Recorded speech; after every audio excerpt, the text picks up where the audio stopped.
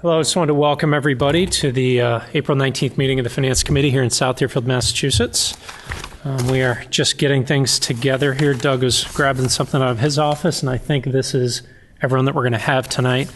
Um, I think John and Skip are both not going to be here. So I guess we'll start, as we often do, with the minutes from the previous meeting. Um, There's quite a few pages of them, I think six altogether. So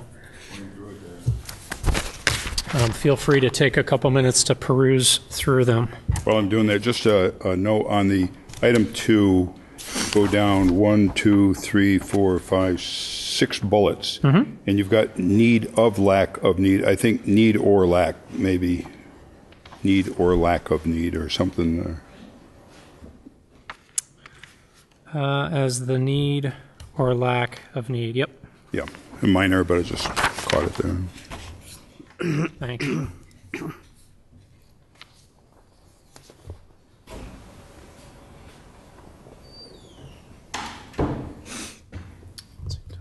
Uh, SCEMS was for tonight, apparently. What was for tonight? You asked that something for SCEMS be put off till this week. Yes, the um, article on the FY16, um, the FY16 indirect costs was put Yeah. off till this week, exactly. Yeah.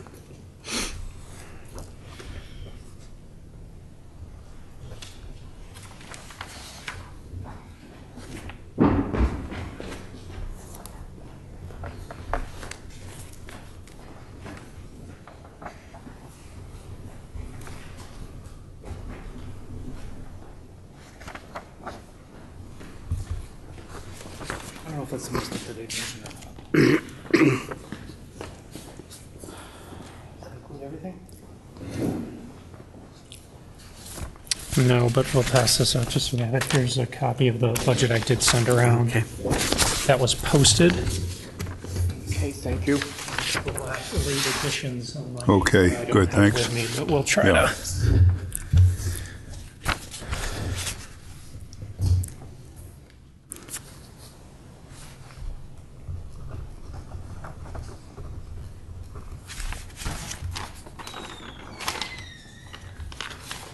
And Doug, do you have copies of the revised um, wastewater expense budget?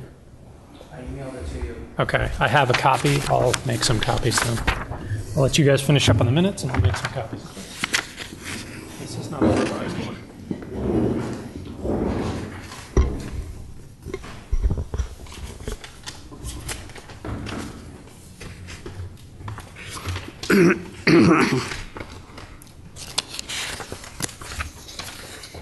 Doug, I'm sorry, I think this is, I know you sent it to me, all I have. I think this is the five sixteen. Is that, is that the No, that's the correct one, I think. It includes these things down at the bottom. Thought that was That's revised again. That's a 2018 estimate in any case. Oh, sorry. 432, 465 is the the amount we're looking So at. that's, that's our good one. That's correct, yeah. I believe so. And that shows 19 for um, administrative costs towards the bottom, I think. Nineteen four forty? Yep, very good.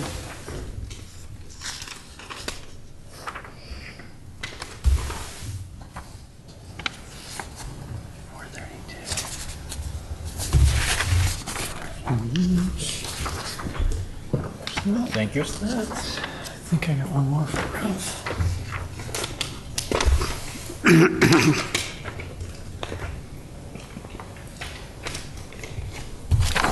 Sorry, let me just make one more copy here and then we'll be ready to go.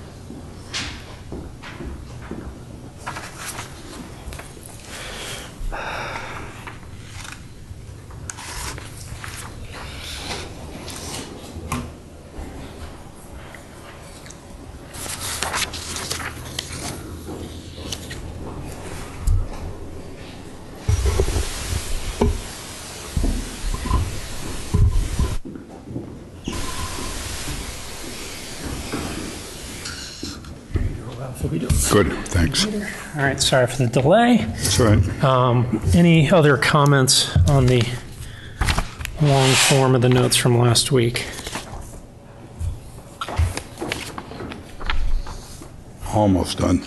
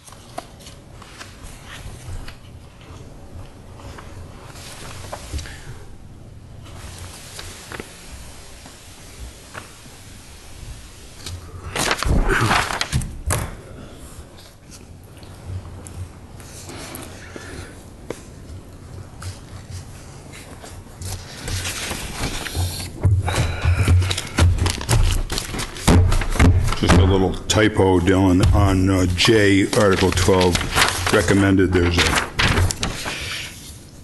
extra, I guess, a zero in there on top of the O.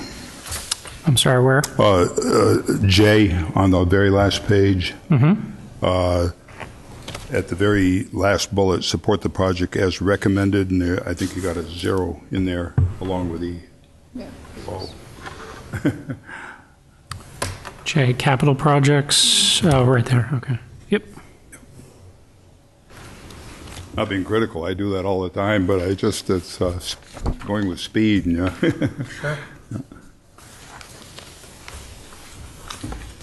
Any other comments from Mary, Jeff, or Bill? Nope.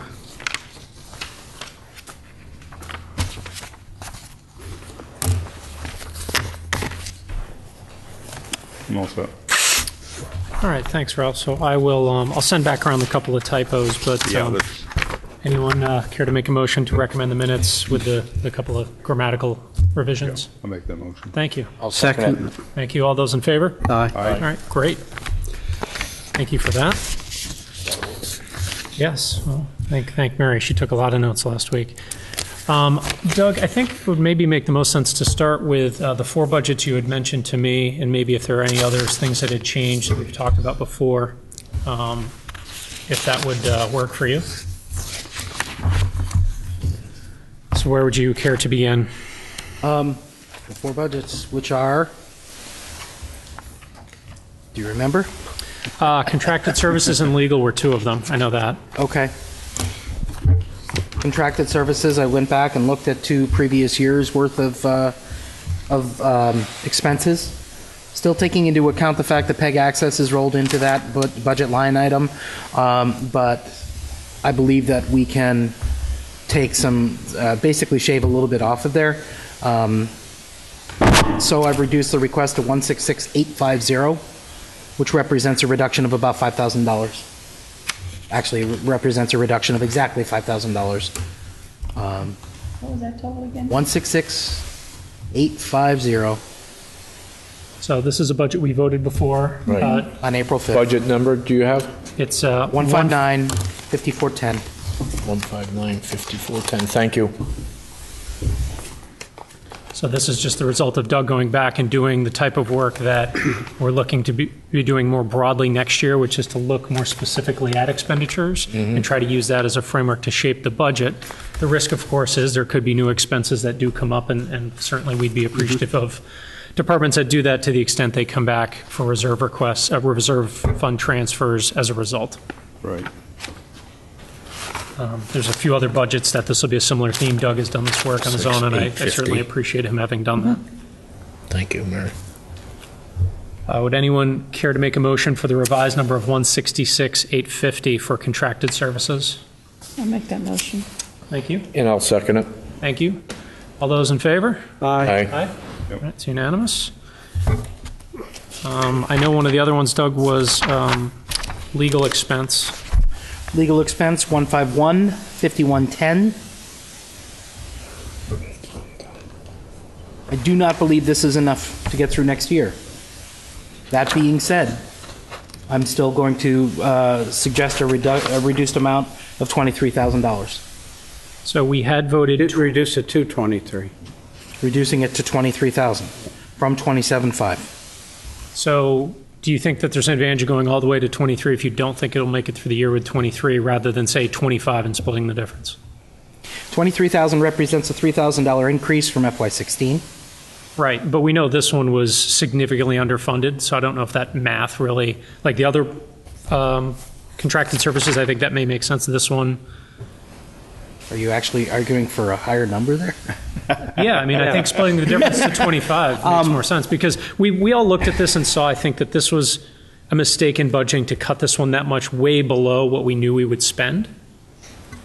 So I do appreciate you looking to go back, and if the math kind of points to 23, I think I'd be comfortable splitting the difference at 25, kind of between what we had passed and what that, those numbers tell you, because of the specific criteria related to this account last year. What do other people think of that? Well, like we Yeah, did, if, if we're looking yeah. to make honest budget line items here, we ought to go both directions. Right. Well, What would you recommend, Doug? I mean, you. The math kind of worked out to 23,000. Oh, okay. Looking into the budget itself, um, that still allows um, the, the the reductions in the specific line items include a reduction in legal services uh, set aside for the assessors of about $500 over, from FY16, an increase to the expense for admin uh, for the administrator or the Board of Selectmen's office uh, from 10 to 12, um, a reduction of a legal expense line item for the Oxford property because, because, um, reduction of legal expense for the Community Preservation Act. Frankly, I think that can get zeroed out because they're setting aside $15,000 this year for administrative costs. And if they have administrative, you know, legal expenses, Take it that's out where it's there. going to come from. So honestly, I could take that Community Preservation Act and drop it to zero and I'd be happy. Okay. Um, police expense, I, uh, legal, I increased to 2,500 from 2,000. I increased energy from 150 up to 500. Um, I reduced the other line from 1,500 to 1,000. I don't like things that say other or miscellaneous. That doesn't make sense to me. Uh, I increased from 200 to 750 the line item for solar. I reduced legal expense related to the highway garage from 500 to 200 um, because I think that is pretty much buttoned up. Uh, legal expense for the annual meeting is flat at 1,000. Uh, and then I added back in $500 of legal expense for the ZBA, the Board of Health, and the South County Senior Center. Okay. All of that adding up now adds up to 22.8. Okay. Let's go with it. Um, if I'm going to add anything back, it's going to go under the administrative line because that's honestly where we are highest. Okay. Um, so Well, if you feel good about the 23,000 number overall, then uh, that sounds fine to me. Yeah. I make a motion, we go with 23. Seconded. All right, thanks. All those in favor? Aye. Aye. and I've, I've just changed the legal expense for admin to 12.2. So that- brings us to 23. Yeah. Okay. That represents a $3,000 increase over FY16. Yep. Um, as long as nothing terrible happens, we should be okay. So that's fine. Um,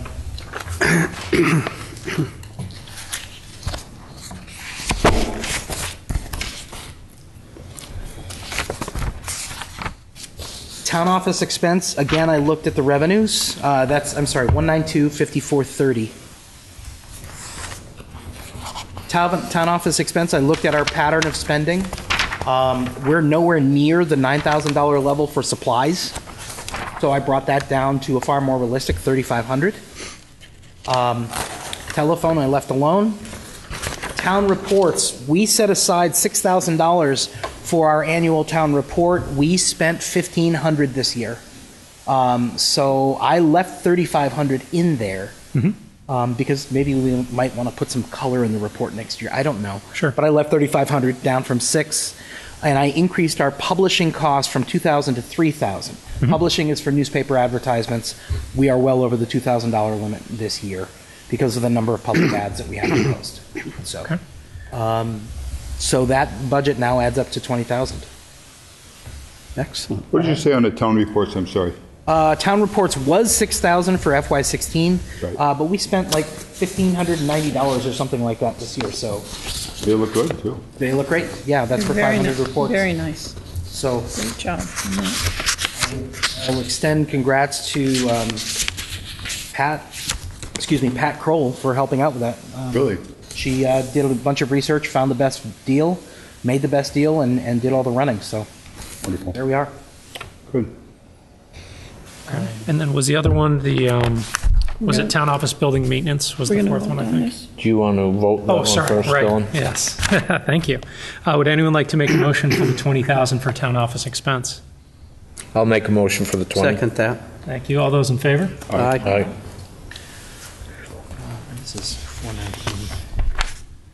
Um, I think town office building maintenance, um, this is the only one that I'm a little reluctant to reduce, but the numbers still prove out. Um, I checked our electric bill, we're slightly higher than the 15,000, um, so I put that at 16.5. Um, Our heating is lower, and probably will be lower because of the changes to the thermostats in all of the uh, uh, offices and in the main room. And we have Deerfield Academy and their donation of essentially their HVAC crew to, to thank for that, um, to basically install new thermostats and to set up the timing and to set up, you know, to confirm that everything is working properly. And uh, so I've reduced our heating costs by about $3,000. If we have a long cold winter, that may come back to bite us, but so far we're we are well under that this year.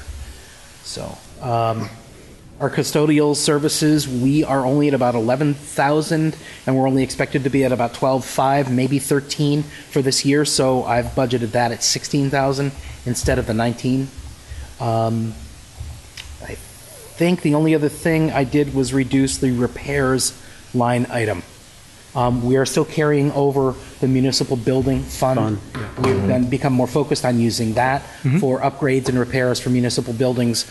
So while the repairs budget of what I've got in here is $2,000 is a nice supplement and it's good for quick hardware purchases or replacing a hinge here or there, anything major should go before the municipal, should go, come from the municipal building fund and more to the point, go before the, before the CIPC. Right. So I'm going to leave that at 2,000. And with that, that, oh, by the way, this budget still includes 2,200, which is the annual fee for the building alarms um, that we are going to be getting uh, up and running. Bottom line, 60,900. 60 what? 60900. What's the account number, Doug? Uh, 192 5400. Thank you. That's a reduction of, um, reduction of about 5,000, just under 5,000 from FY16. But it's far lower than the 71, 970 that had been originally. Right. Okay. Anyone have any questions or would like to make a motion to that effect? I'll make a motion that we go with the 60,900. Second that. Thank you. All those in favor? Aye.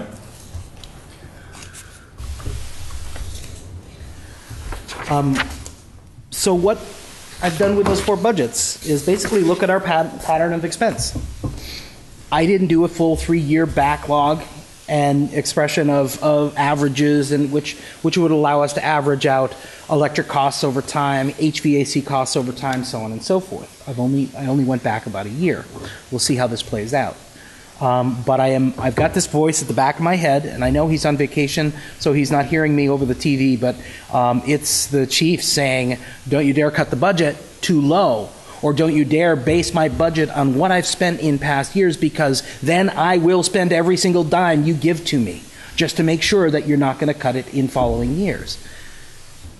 And I don't disagree with that philosophy. My, my father, who worked with the fire department in Northampton for 21 years, remembers how Northampton had that philosophy, that budgeting philosophy at the time, and how in late May or June, the fire captains and the, the fire chief, they would go out and they would buy fire hose just to, spend down their budget. He said we had more fire hose stashed away in that house just to spend the budget down.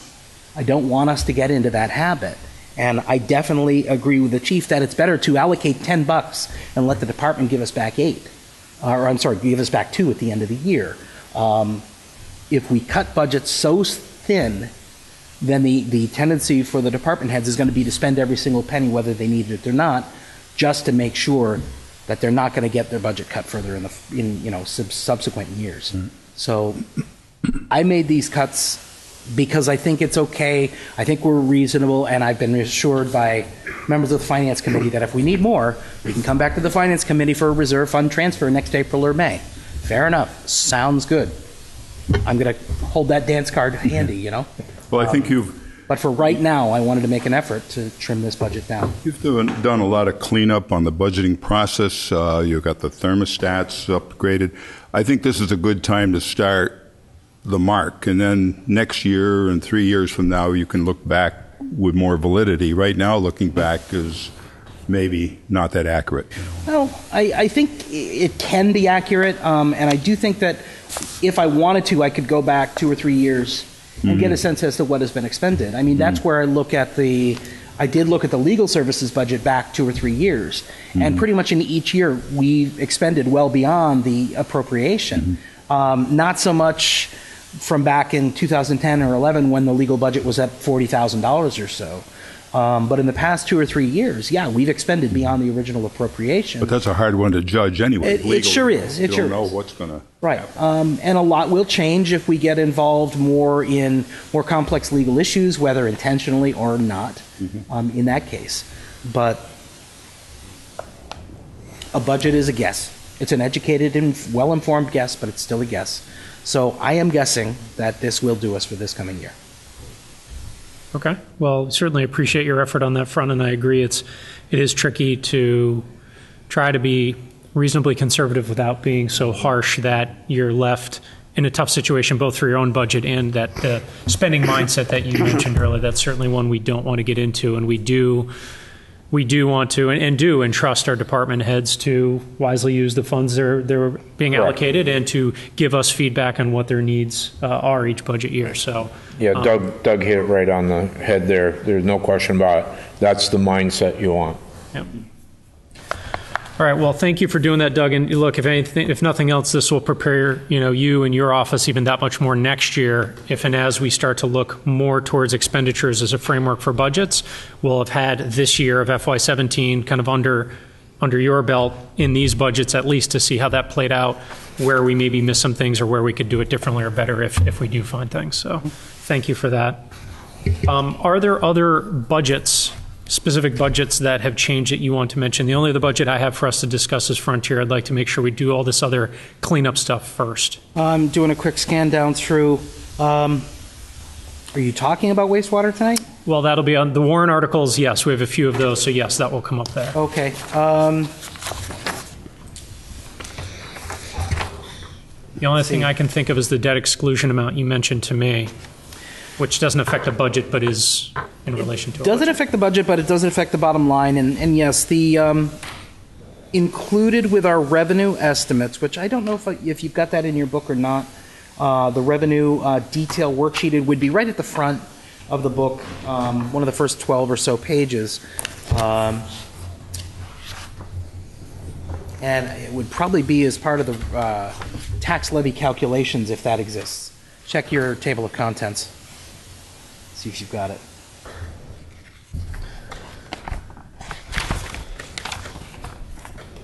It there? Is it there anywhere? In any case, to sum up, uh, about $20,000 of short-term borrowing interest is expected in FY17. This is interest related to short-term borrowing necessary to fund the school roof project. We borrow the amounts that we need for the short term. Once the project is fully complete, then Barbara, uh, the town clerk, will issue a bond for the entire amount that the town owes on the project. Now, the short-term borrowing has a cost, that's the short-term interest. Um, And that interest, we have confirmed with DOR, is uh, debt excluded per the town meeting vote from January 25th of this year. Um, And so that 20,000 or so estimate has been included in the debt exclusion calculations. What it does effectively is increase our overall tax levy um, limit. We've gone from 10,346, 10,346,000 to 10,366,000. So just to clarify, budget number 751, 5900, interest on maturing debt. This is where that 20,000 has showed up. We've already talked about Yep. this in the past. What has changed is not that budget, but just the way that we calculate the revenues and the, the tax rate on the other side. Basically, that 20,000 is part of the excluded debt as was voted back in January for the school roof project in general. Uh, D- Now, Doug, because this isn't known interest on existing debt, you can still do that even though it's not, it's estimated? Because the only thing that will be excluded from the debt is the amount that will, uh, um, will actually be paid out. Um, And corrections to that will be made uh, either at the end of FY17 or in FY18. So if only 10,000 ends If up only- going out the right. door, they'll They'll- adjust It'll all come out in the wash. Okay. Yeah. So there's no votes needed here, this is just informationally. So what this mm-hmm. doesn't affect is if nothing else change and you make this change, there'll be an extra 20,000 in free cash because you'll have raised another 20,000 in taxation that'll flow through an otherwise unchanged budget down to free cash. Mm-hmm. Right. Okay? Are are we on track with that? Is there anything that's come up with the architect or? Uh, The Board of Selectmen will be receiving the, um, the recommendation for the bid awards tomorrow night. They will be making a vote, and then the notice to proceed will be issued post haste. Um, We, ex- uh, I've seen the draft document, basically, as soon as the board votes that, the OPM will issue the order to proceed, and we're off and running. We're off to the races, Is the current building inspector going to stay through that project with us, do you think? Well, the town is going to be hiring a clerk of the works. Well, I'm sorry, the OPM will be hiring a clerk of the works on behalf of the town. And that clerk of the works job will be to be the town's eyes and ears on the project throughout the primary construction phase, um, and probably a little bit beyond that. Um, the clerk of the works will report to the building inspector, um, but may also provide reports directly to the Board of Selectmen through the building inspector's office. So, will What's the the time frame on this project? roughly? uh, Notice to proceed goes out April 21st. Uh, Complete it. Oh, completed, they have to be done with principal construction, um, or, sorry, they have to reach, what's the right term? Um, uh, uh, It's something like, uh, like primary completion of, of work. Uh, August 26th, I think, is the date. Okay, all right. So, yeah, it's about, a- just under a four-month, or just over a four-month uh, quick, build, yeah. Okay, good. so. Okay. Um, Anything else on budget issues, so not warrant articles, other than uh, Frontier, any other changes, Doug, from your end, or new numbers? If there are changes, then they're very minor, and I've forgotten about them already, so. Okay, well, we'll do that sort of cleanup uh, on Yep. Thursday. Yep. All right, so then let's, um, let's move on to the Frontier budget. So this, um, we had passed, we had voted and recommended the transportation, but had held off on the budget itself. And um, Doug, can you just confirm what you have to make sure this has not changed from what we have? I have three, three million, four eight eight, zero two six. Right. What's the number on that one? Uh, That is 312-5400 is the budget number.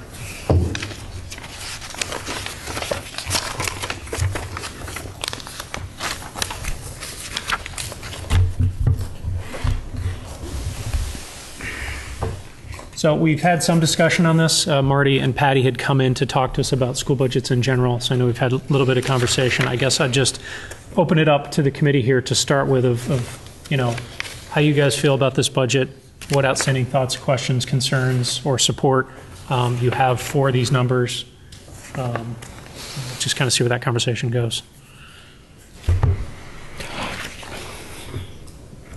I'm struggling with the increase, to be honest with you. 6.18. and we're trying to, we're, you know, have, have talked about that 2.5 mark. Okay, um, actually, that reminds me, and I think this would be a good time to do this. Um, So I've spent some time, and I think this came up through our conversations. The increase, to use some round numbers, we're talking about $200,000, right? It's 203. 203, yeah. 203. Um, Of that, roughly 125,000 is an increase from the foundation budget calculation. So that is sort of in the cake before, you know, you turn the oven on, unfortunately or not. Um, Another 25,000 comes from the recalculation of Deerfield's percentage assessment, which has to do with rolling five-year average of student enrollment. So that's another 25. So I, I will say, and this number is concerning to me as well, but as I've spent a lot of time, that's part of why I held this off, try to go through this as thoroughly as I could. I do feel comfortable in saying that it, you know, the the real increase of what we're looking at from the ramifications of the budget decision is more fifty fifty thousand dollars. The difference between the Correct. two hundred three request and then the one fifty that's kind of happening one way or the other. And I know that that doesn't. If you're, you know, when your tax bill comes, that doesn't make you feel any better. You still got to write the same check. But in defense of the budgeting process and year over year analysis, I do think it's fair to point that out. Right. I also would like to say publicly that uh, Marty and Patty uh, really put a lot of effort into the budget process, along with the school committee, to try to keep the numbers as low as possible. I understand that's not an easy thing to do, but when you look at this, it's just a little hard to swallow. That's, that's, that's all. And I do understand the, the 150. Right. It was basically out of their control because of the state, the way they mandate. Right. Anyone else have any thoughts, either big picture or specific things within it that jump out at them? Bill, look- looks like you got something on your mind. No, I, I, I, I, th- I think at the elementary level, at both levels, they, they did a good job, and they, they heard past discussions about budget. You know, I, um, I'm still a little uncertain about the, the logistics of school choice at the elementary level. It's a moving target, so, but, but they are cutting back, so. Right. I think even at the elementary level, they're, they're making an effort, Oh, yeah. so, Yeah. The, the Whately Elementary is going to bite us. right. Yeah, it's a, it's a real challenge, and I guess the, the thing that I kept coming back to when I looked at this, um, after accounting for those first couple things we talked about, was, you know, I, the the year over year changes that, on the breakout that they'd provided. The one line item that's that jumps out because it's the biggest number is the changes in health contracts and other. You know, the increase there is two hundred and seventy six thousand. That's more the entirety well, that's not, that's not difference portion, but that, that's a very large change to the underlying budget. So it's not more than our assessment, because our assessment's only half of the budget, but, um, and I know that, that, you know, health insurance costs, we have some ideas of kind of what those changes are, even though we don't know their exact plans and, and, and mm. breakouts. And we know that there's a CBA contract, you know, underway that's going to be dealt with in the next month or two that will go into effect for FY17, where obviously they don't know yet what those numbers are going to be. The challenge for me, and I understand that that is necessary, the challenge for me is we're seeing a larger budget increase with a E and D usage of $100,000 $100,000 to offset it, mm-hmm. which is great, except that the increase is, as we know with budgets, permanent. And the $100,000 offset is in all likelihood time. one time. Right. And so even if our, for, that's where for me, I kind of struggle because if the budget were lower and the E and D offset wasn't there and our assessment was the same, I'd like that budget a lot more. But that's not really, we can't affect that change. And I think that, you know, a lot of, th- this is obviously a different budget in the sense that, you know, the school committees and the administration are working together over the course of time. And so our input and our timing of our part of the conversation is not the same as, say, contracted services with the town, for better or worse. Um, So while I, I do really struggle with this increase, the thing that really jumps out at me that I really don't like is, is not something that I think voting a smaller budget is really going to address, which is this risk of this permanent increase offset by a one-year mm-hmm. deduction. The, the hopeful thing in this, this spring has been the coordination of this rural regional school district thing and what they're starting to put together and the pushback, you know, and looking at the, the Wisconsin model of sparse populations, you know, that could be a real helpful thing to, Yeah. to send to the state. And it, it's good that, that that's happening at that level. There's things along that line that need to happen to. Yeah, I mean, they just don't get uh, it back there, what- It's, uh, A lot of this is so locked in, and I do agree with your statements here that I think my exposure working with the negotiation team there, um, a lot of hard effort. I mean, it's serious people. I mean, I think everybody's aware of the issue. We got a shrinking population, and state edicts keep coming in, and there's less state money available. It's uh, something major has to happen, and it's going to be that type of thing. Well, the concern, oh, sorry, go ahead. My, my other concern is that this budget, if approved, I don't want to send the wrong message to all the other departments. When they look at this, they may not look at the numbers and understand how that came about. Mm-hmm. And when they see that percentage and having it approved for a recommendation, to come back next year and all of a sudden, well, you know, hey, what the heck, Frontier mm-hmm. went for it mm-hmm. and got it, so we might as well too, and I- uh, that, that could be a little Right. dangerous. We, I- we really have to be cautious about that. I don't think departments will do that intentionally. I, I really don't, because we have some good people, uh, you know, in the, in the various departments. But I hope the general public understands where this is coming from. Uh, Jeff, and you, you touch on a really good point because that's the thing that that I've really wrestled with is, you know, I think the greatest thing we've done this year is the consistency with which we've tried to approach different budgets throughout the town. Obviously, each department has their needs, and it's very difficult to try to equate the needs of police with accountants, with schools, with this, because they're all very different things. And so the consistency of our approach is really the strength of our approach, I think. And I do, I do worry to, to what Jeff said that, that we aren't being as, we aren't holding the same line here as we have with other budgets. Um, and it's especially difficult because this is the largest budget.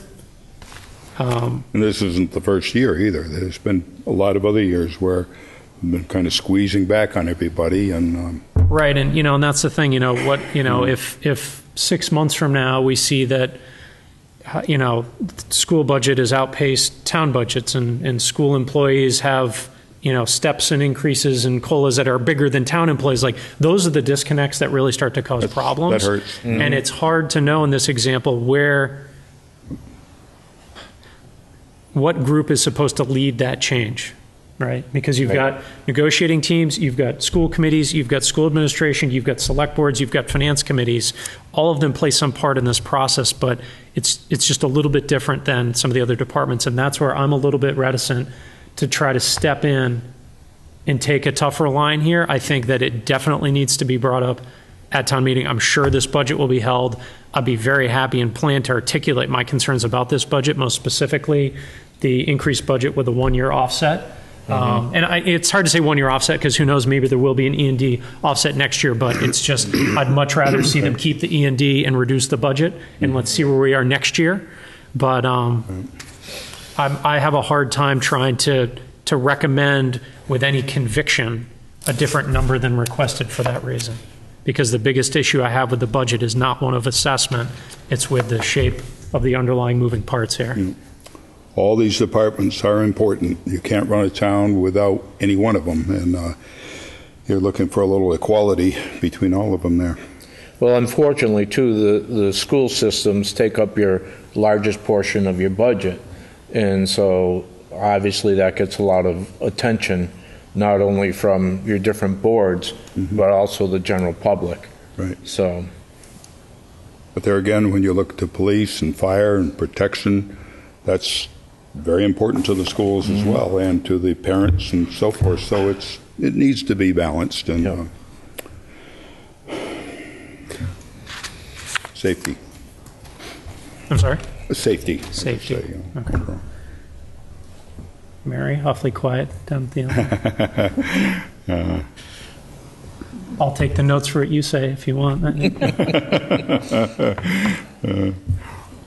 I just, I, I agree with you that it's, um, we've been asking everyone to hold, and every year, the school just increases, increases, increases. And, you know, you know you're gonna go to town meeting, they're gonna vote whatever that's on the budget. And I like the fact of how much work went into the budget, and the fact that Marty and Patty and the committees are agreeing this year, which shows the support of the, of the budget, but it's a hard sell when the rest of the departments have all been asked to, to uh, cut. It always comes down to the voters, and the question is, is do all of the voters have a good comprehension of the, of the total picture, the whole town? Not just the school and the school children, but everything that makes a town tick, you know, and it's, it's obvious, if you're young and you got young children, you're going to be very concerned about them. But on the other hand, you, you want to make sure that they're supported in all the other ways, and it's very hard on the uh, town meeting floor to get that message out and have everybody think about it. Mar- Very as- hard with the fact that once the school budget is voted, the number of people that get up and leave. And that, that concerns me more than anything. Time after time, I've No, seen that. they don't yeah. have any regard for the rest of the budget and uh, how much work the department heads have put into it. in the last 12 months, I think, you know, if people are listening, Marty's been proactive, and she's been mm-hmm. talking about the realities of school districts this size, Right. where they'll be in 10 years. She's been talking about the need to talk to the state about multi-use of buildings. Mm-hmm. So she's put stuff out there that wasn't being put out before, and You're I- yeah. hopefully people heard some of that Yeah. Um, you know. So there have been, you know, there, there is pushback already on the multiple uses of the buildings. And um, if, if that, if that gets to the state level, maybe they'll actually help with that. I feel bad because I think uh, the school board and the teachers and all the administration, they're very aware of all these issues. I, I don't think it's like anybody's gleefully just running off and spending money, but there's all kinds of things that are pushing this, you know, and it's it, it ultimately has to get back to the general public to understand it and decide what they want. Now, Ralph, I know that you're involved with some of these negotiations. There's a lot of things you can't talk about, and that's Mm-hmm. No, obviously perfect. Uh, that's the way it should be. But, you know, as you think about the way that budgets impact the process of these different negotiations, like, is Mm-hmm. there, are there things we can do? I mean, it's, it's odd to me that you'd set next year's budget and then have a negotiation once you know how much money is in it. Yeah, But yeah, I understand that it's hard in a different way to do it. The- Has it always been in this order? Or That I And maybe you can't I speak to can't that? answer that. I don't know, but uh, all I can say though is that the I, I speak highly of everybody in the negotiations. It was a very well thought, well discussed from both sides. It, it's, I think everybody is conscious of the issue and uh, Okay, well- hard at it. Well, I guess what I my my request, uh, I guess, of you, because you have this great opportunity to be part of this process, is when it's all done, to the extent that whether it's this summer or sometime after everything's done and you mm-hmm. can be talked about what the numbers are, mm-hmm. if you could kind of give us some feedback to help us understand how the things that were negotiated in that compare to the way that other town mm-hmm. employees are being treated, because you know obviously that consistency there, it, you know. What we can afford in town is what we should be able to afford with the school. So Right. I think that Right. it would be very helpful for you to mm-hmm. come back at some point and kind of talk with us about you know what you've seen and once the numbers are set. Mm-hmm. Um, mm-hmm. because I you know that that's where it's hard for me to try to step in here and you know, I, I don't know what those numbers look like and I don't know what the range of outcomes is. And so I don't even know what we're trying to affect by say reduce it by fifty thousand dollars. I you know I, I don't even know I don't have any conviction in picking that number let alone what it'll do right. um, and so, you know, I think the other benefit, I, I do think that having Marty there gives me additional comfort that, you know, she's had a long, she's, she's earned a lot of trust and respect throughout her years Right. of service in that position. And that is certainly one of the things that I think about when I decide how hard of a line, I guess, to take with a budget like this. I do remember the last question I asked Marty and Patty when they were here, was, uh, how could we lower this? And Marty just simply looked at me and said, the only way you're gonna be able to do that is staff, to cut staff, as far as the budget. Well, And- that's- That's their expense item. Right, and that's their expense item. Yeah. In, in all fairness, they, they did have to reduce staff last year Right. to try to meet the budget. Yeah, and that, and that was We- not easy. That was not an easy Right, town we meeting. cannot and there were- forget That was a that. very difficult decision, and, and Yes, it was. while not the same entity, the grammar schools also had to make some difficult choices in reducing classes, and for good reasons, but still not easy. It it affects real people, both uh, employees of the school and kids that would like to go to that school. So, you know, none of these are easy decisions, and That's why my earlier statement that uh, this isn't easy on anybody. I, I, between the board and the teachers, the administration, there's it's complex. There's a lot of issues at hand, and I think everybody is aware and they're working at it. You know, but uh, it it needs to be a bigger level thing. Like Bill is pointing out, we got to step back. Everybody's got to step back and take a look at the big picture. So, you know, you can get into the inner works too, like, but as Dylan referred to, not knowing every little thing that goes on in each building, it makes it awful difficult to pick line items here and try mm-hmm. to Well, reduce. that's where, you know, to me, You it's that- can't, that you line can't item mic- that's- micromanage. Yeah, the line item that's, you know, health insurance contracts, other, that's the one that kind of steps out of me, which is the mm-hmm. one where I feel like I have very little visibility. Mm-hmm. Yeah. Um, and obviously, that's something that hopefully we can work to have better. And next year, that we won't be in the middle of a negotiation there every three years, so that will have more clarity next year. And, and maybe that will be a better place to look more carefully at some of the line items. But Is, is there, do you know if there's a financial subcommittee on the, or budgetary subcommittee on the school committee that looks at, I don't know, Bill. I I listened to a piece on the radio tonight, and I can't remember where the woman was. She was superintendent of a school somewhere. And she decided that she was going to squeeze every dollar out of everything except staff in her schools. It was an underachieving mm-hmm. 95% black school mm-hmm. system. So she was being interviewed while she was out doing school bus duty in the morning. She meets once a month with every principal in her district to look at every dollar spent in the last month. I mean, she's mm-hmm. driving it so that mm-hmm. she can go out and hire the teachers with the higher degrees for the special needs issues that she's Yeah. dealing with. And it, apparently it's working pretty well as far as the school, the achievement of the kids. Right. I guess what I'm saying is when we get a new administrator in this district, somehow we've got to get it into them that, you know, they've got to really do budgeting. kind of little, it's not really off the subject, but, you know, my personal thoughts on this has always been, it's with a, you take a running of the school department, uh, the, the educational system, to me, it ought to be about education. That means teachers and what the courses are and how the kids are performing. But then they're asked at the same time to maintain buildings, build buildings, and as classes grow and shrink, it's not something you can easily do with that. And it's almost like that ought to be separated from the educational part. You know, it's uh, uh, whether there were district schools or something that um, control the actual building part of it. You know, it's, uh, Well, it's tough. Marty's projections for population decline in this, it's not going to change. It's Yeah. keep going to keep Yeah, along that line, so. yeah. yeah. Well, all right, that's- well, um, anyway, That's the issue, you know, at, at some point in time, you know, year after year, we see the budgets continue to increase. And we all realize that, you know, we do have a decline in enrollment. right. And at, at some point, you are going to have to make those very difficult decisions. Right. And uh, which I think took place last year at both school systems in Deerfield here. Not pleasant, but the reality is, you know, at, at what point, what can you afford and what can you not afford?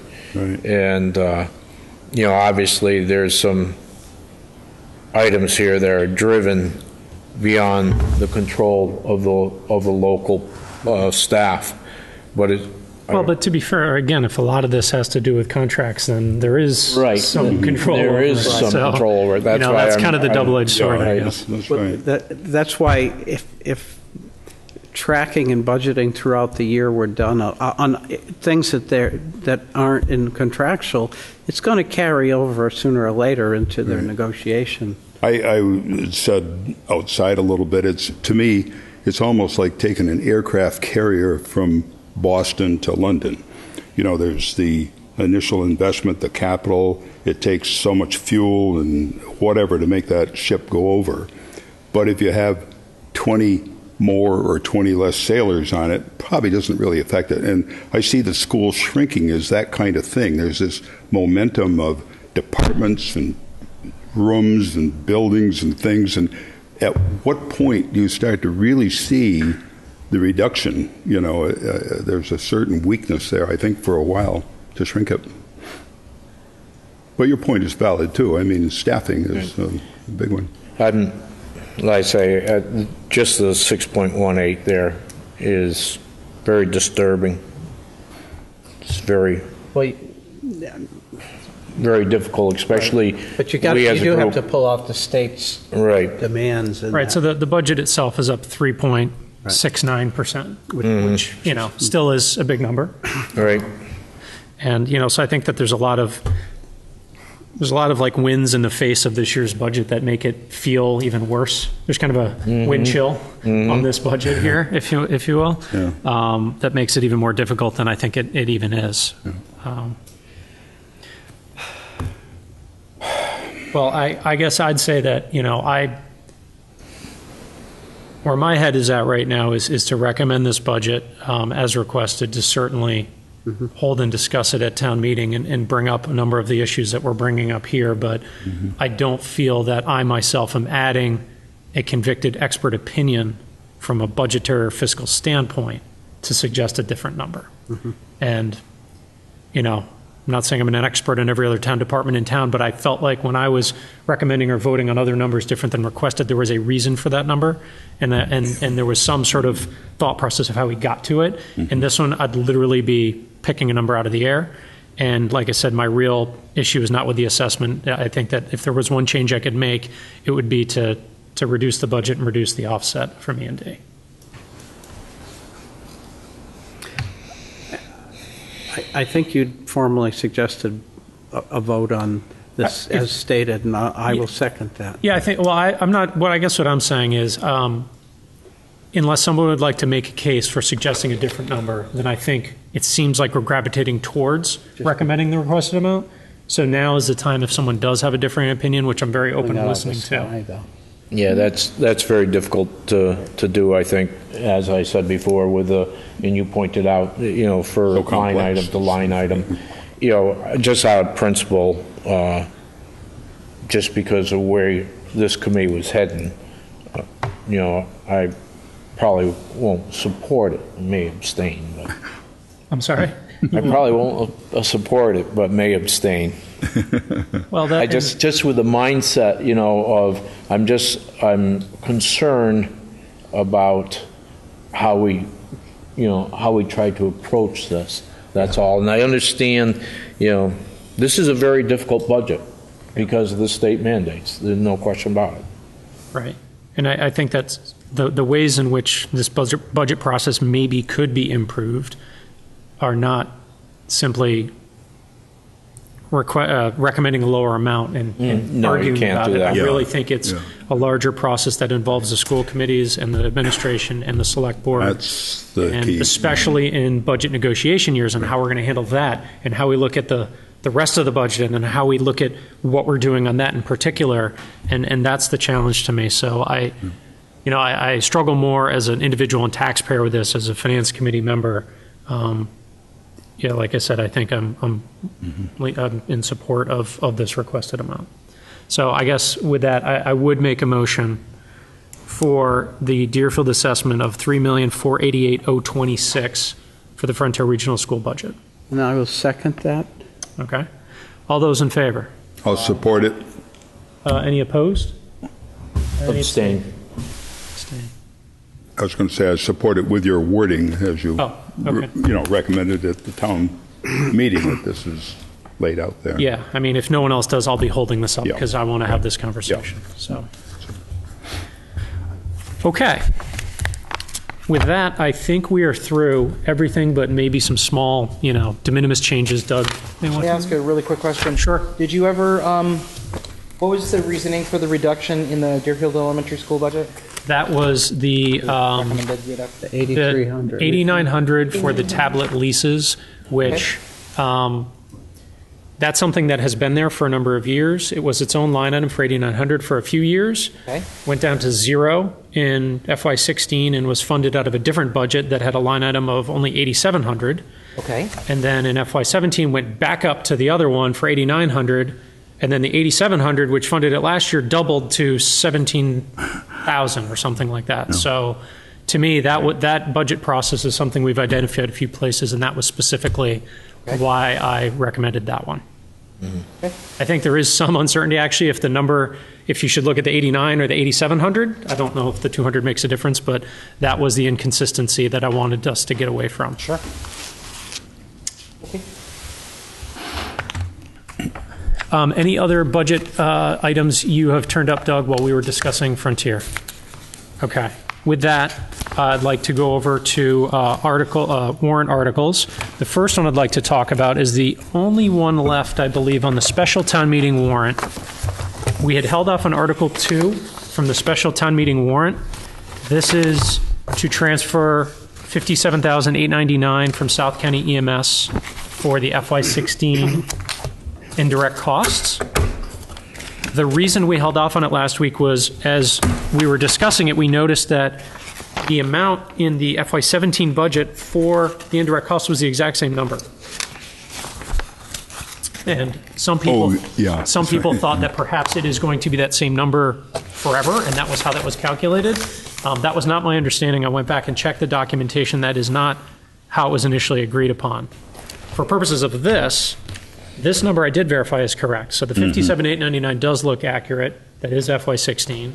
And if there are to be any changes, it would be to 17, not to this. It's, it's the formula as they run it out. Right, that- so I, mm-hmm. I did the formula and I calculated it from the FY16 budget, and I got that number to the penny, mm-hmm. to And- the dollar. John uh, questioned last Tuesday with the selectmen that there's been nothing mentioned for 14. 15. So FY15, the service was in service. Um, There was no indirect cost formula at that time, so no costs were charged. It seems that there could be an FY15 item placed or added to this that would require a 90% vote rather than just a simple majority vote. Doug, feel free to correct me if I'm wrong. Um, you're, you're probably right in terms of the voting majority. You're right that somebody could probably try to do that. It would require opening up FY15 again. Okay. FY15 is closed. Right. Completely closed. Right, Free cash certified and all that. We would literally have to go back through, re-audit the entire year, recertify free cash.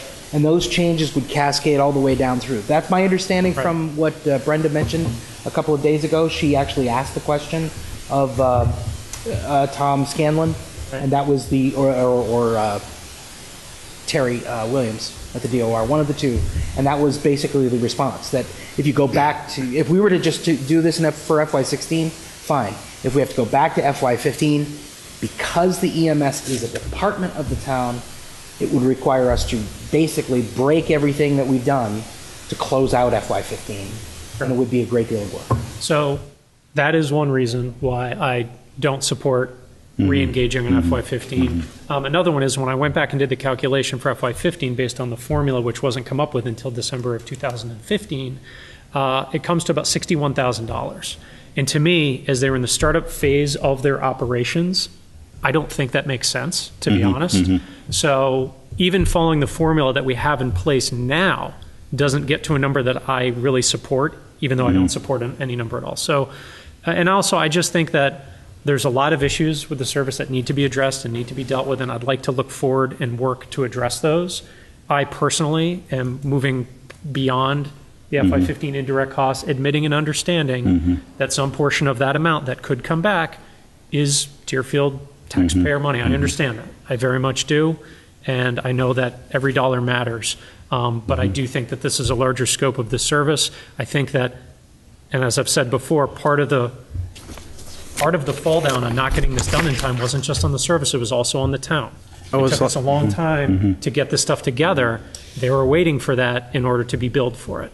So that's why I feel the town does bear some of the responsibility. Anyway, About 80% of it, yeah. Uh, I'd had a lot of talks with Casey way back, and I, I do agree with John. I mean, uh, he's correct. I mean, it was agreed to, it could have, should have been done, but in talking with Case in the back, it was the same thing. You got to reach back into that year, and then it was kind of a startup thing. It wasn't Right. full formula all the way, and then you're kind of grasping at some of the, the input you need, so it gets to what you're I- saying. I But I uh, guess I'm still shocked that we started an enterprise and didn't figure this out at the beginning. And and we beat on people for a year, and they told us how complex it was, so we never, you know, it wasn't, wasn't the ambulance service, and it wasn't the town that sent us a check and we had to send back. Yeah. It was us. Yeah. So, but that will come up, is what I'm I- suggesting. I'm sure this will come up, and uh, I'm sure we'll, sure we'll talk about it, but for the purposes of tonight, for Article 2, which we yeah. have not taken action on yet, would anyone like to rec, uh, make a motion to recommend Article 2? I'll second that. Well, would anyone like to I- make a oh, motion? I- oh, Yeah. I thought you Yeah, said- no. I- Again, I I thought you try to said, not make motions unless I feel like it's I see. helpful, but, I will make the motion. thank you, Rob. Anyone like to second that? I will. Thank you, Bill. Um, All those in favor of recommending Article 2, say aye. Aye. Aye. Any opposed? Any abstaining? One abstention. Okay. I believe that is it for special town meeting warrant. We took action on a few others and, and did not take action on some others beyond that.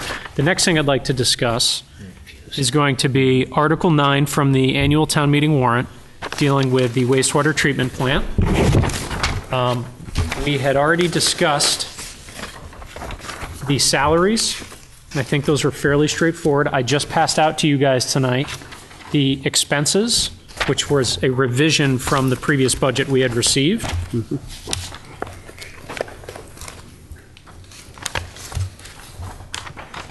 So the original budget was for 346,000, rounding the nearest thousand, and the current request is for $432,465. So significant increase, and there's a number of line items that are higher, from sewer line maintenance to repair parts to a number of new line items that have been added that Doug may want to chime in on, the pumping station and infiltration. Doug, can you give us kind of a big picture um, on the, the changes from previous to this one? Sure. Broadly speaking, um, before Jonathan yells at me, I'll move the mic.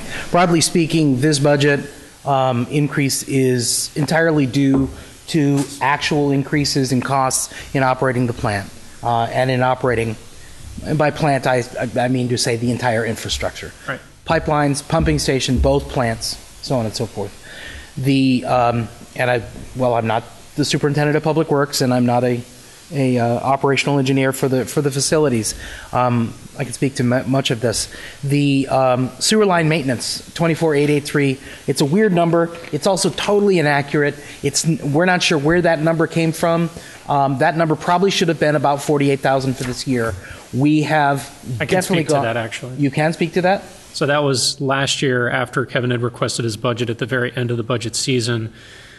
Uh, The indirect, co- the in- administrative costs were added for 19,440 for the first time. And so Okay. that, plus some other small rounding error, is the reason for the adjustment to that particular number. So I agree that for purposes of increases, we should be starting from 43 from two years ago because it never should have been reduced. Sure. I think it was actually like 48 the first time around last year.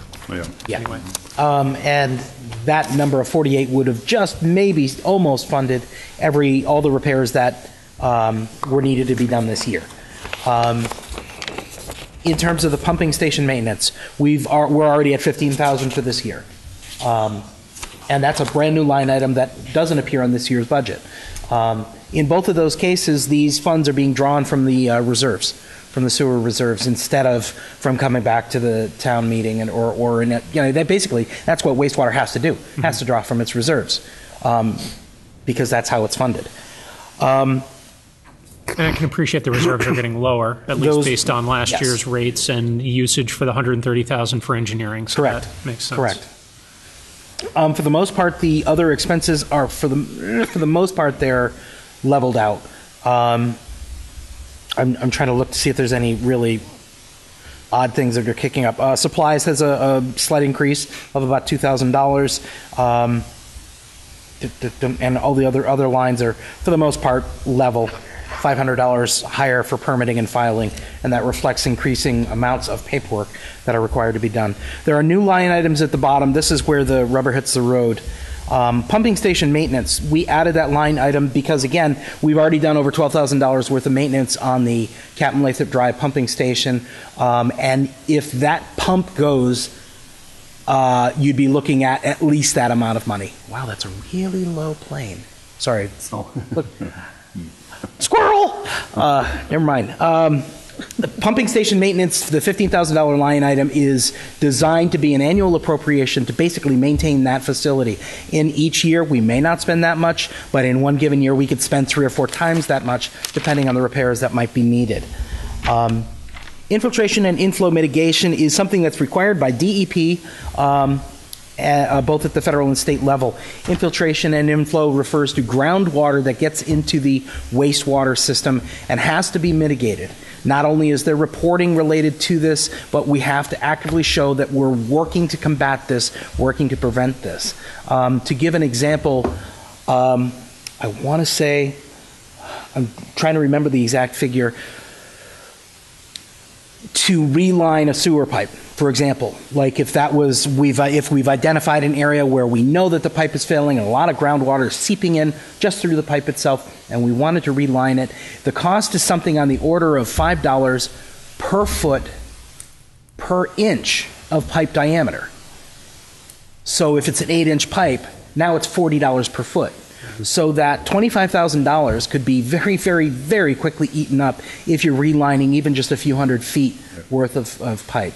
Um, to say nothing of going out and doing inspections on, on uh, uh, manhole covers and systems or drainage uh, cisterns, um, and even monitoring the amount of flow that we get um, using various monitoring systems throughout, throughout the, the, the pipes. Um, if we determine through use of these monitoring systems that we're getting a lot of I and I from one particular pipe, one particular street, one particular neighborhood, maybe we can go into that neighborhood and determine where the problems are, are showing up. Hey, Doug?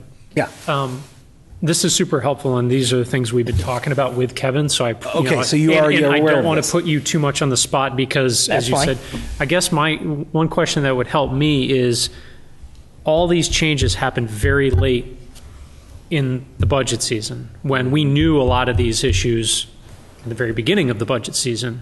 I'm curious why the sudden change at the end? Because we didn't know the cost. We We, didn't, kn- we, we didn't know the cost for these various things. okay. We didn't know how uh, urgent these things were in terms of adding it to the budget. And we were, uh, part of this, this is, it's not the tail wagging the dog, but part of this is being driven by a need to bring the overall expectations for the cost of operating the system up to a standard that allows us to do the repairs. Um, these additional line items represent actual need, actual expenses that we can expect to face. Um, Okay. I would only uh, like to say that I'm glad to see this. I mean, I know there's a horrendous amount of concern about the cost of this whole sewer treatment plant and lines, and rightfully so.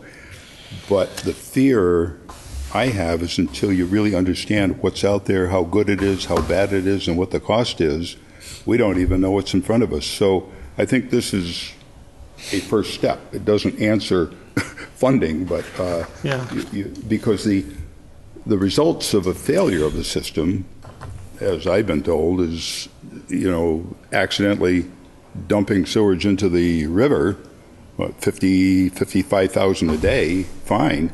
Uh, that's something we want to avoid. It's thousands of dollars per day. Yeah. And it's not the wastewater treatment district that will be named as responsible. It'll be the town, broadly speaking. Yeah, exactly, right. And, and I echo Ralph's, you know, sentiments. I think that's important. I, I do, I would point out, and I'm sure many people will articulate this at town meeting.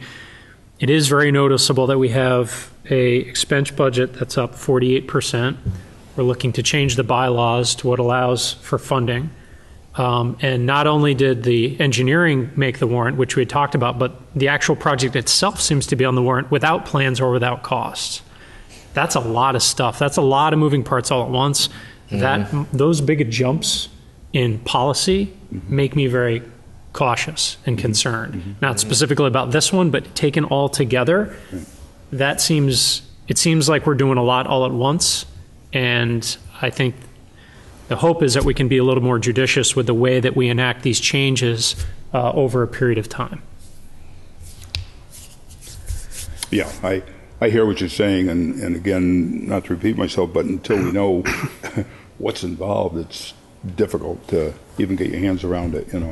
Uh, Sure, and that's where you know that I'm, I'm more open to, to changes here because I think Kevin, you know, he's he's got boots on the ground, literally. You know, he Yeah. he knows what he's having to do here, but that's where I know it's a different a- area, but the Headworks project itself, the actual project, without plans or cost being on the warrant, is not something I could support. For you know the reasons you just said, we need to know what we're doing. right. How do people feel about the expense budget here, the different parts of the sewer as they're going to be on the warrant that I just articulated? Any other? I know, Jeff, you probably have a couple thoughts. Yeah, I just, once again, I, I'm just wondering if we're a little premature here as far as, uh, you know, large, large increase, and if we could wait till that sewer study comes back. What study are you referring to?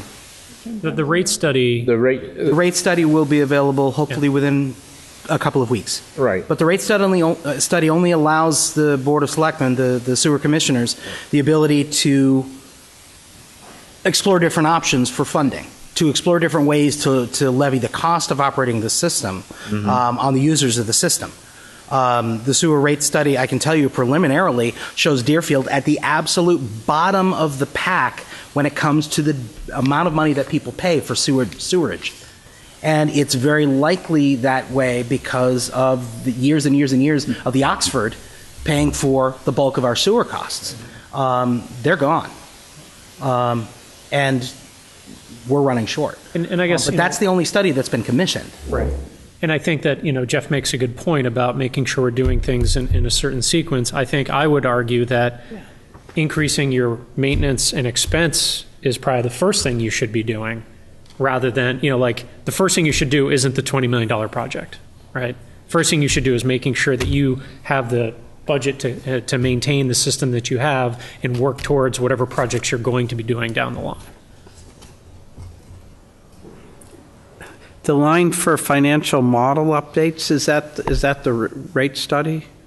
Is that what, I don't, That's both the rate study as well as the estimate of uh, costs. Um, It allows for an annual review not only of how the expenses for the system are, um, are being allocated and being used, uh, to, I won't say an audit, but it's, it's more like a, um, a boots on the ground sort of analysis of the finances as opposed to a, uh, paper and calculator version. Um, but yes, it does have a lot to do with re-examining the means by which the um, the cost for the services are being assessed and the means by which the uh, that the individual users whether they be residential commercial institutional or industrial are being assessed.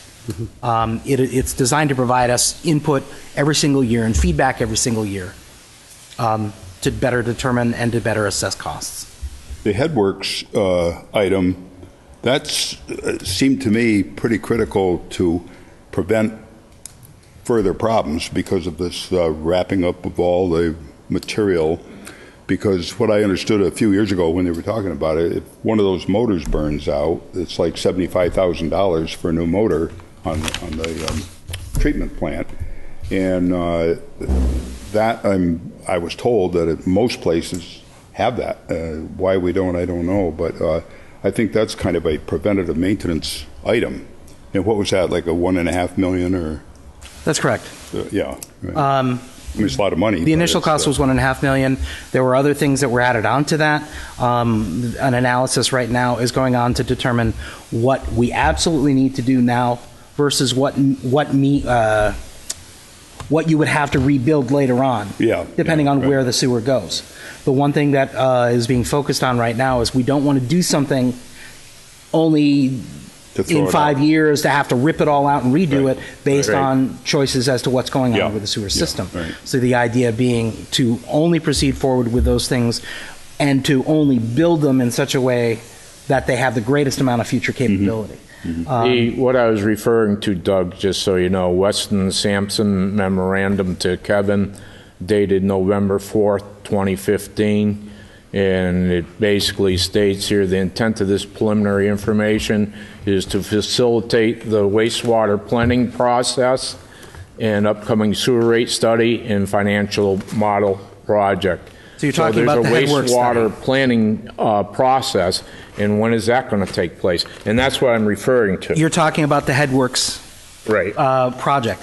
That's ongoing. That's what we're doing now. Right. Um, that's we're looking at different ways to But upgrade it's not and only the maintain the, headworks facility. listed here, there's 14 items listed here as far as upgrades and that. So I'm assuming that they're going to do a planning process for all of this, for all 14 upgrades that they're talking about here. I don't have the document in front of me that you're referring to, so I can't I'd be speak more to than it. we're willing to share. but I'm not also not going to because I'm not entirely read up on, on exactly what is being referred to.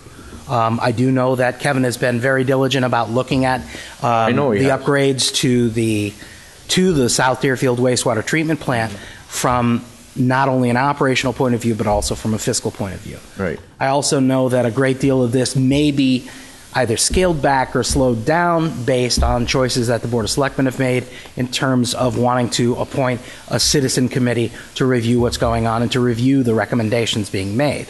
Um, Well, they just had 14 points here, you know, planning phase for Old Deerfield wastewater system, planning phase for sewer extension areas, Captain Lathrop pump station upgrade, you know, South Deerfield upgrades. So that's, that's all I was referring to. was Okay, a- a does one of them refer to the headworks? One of those Yeah, points? there's one item here that Okay, refers does one of them headworks, refer right. to the bar screen? Or is that, I assume that's a a subheading under the headworks? Yeah, that's what I'm looking for now. That's all we're talking about right now. Well, We've touched But on all those other right, things. Right. That's later.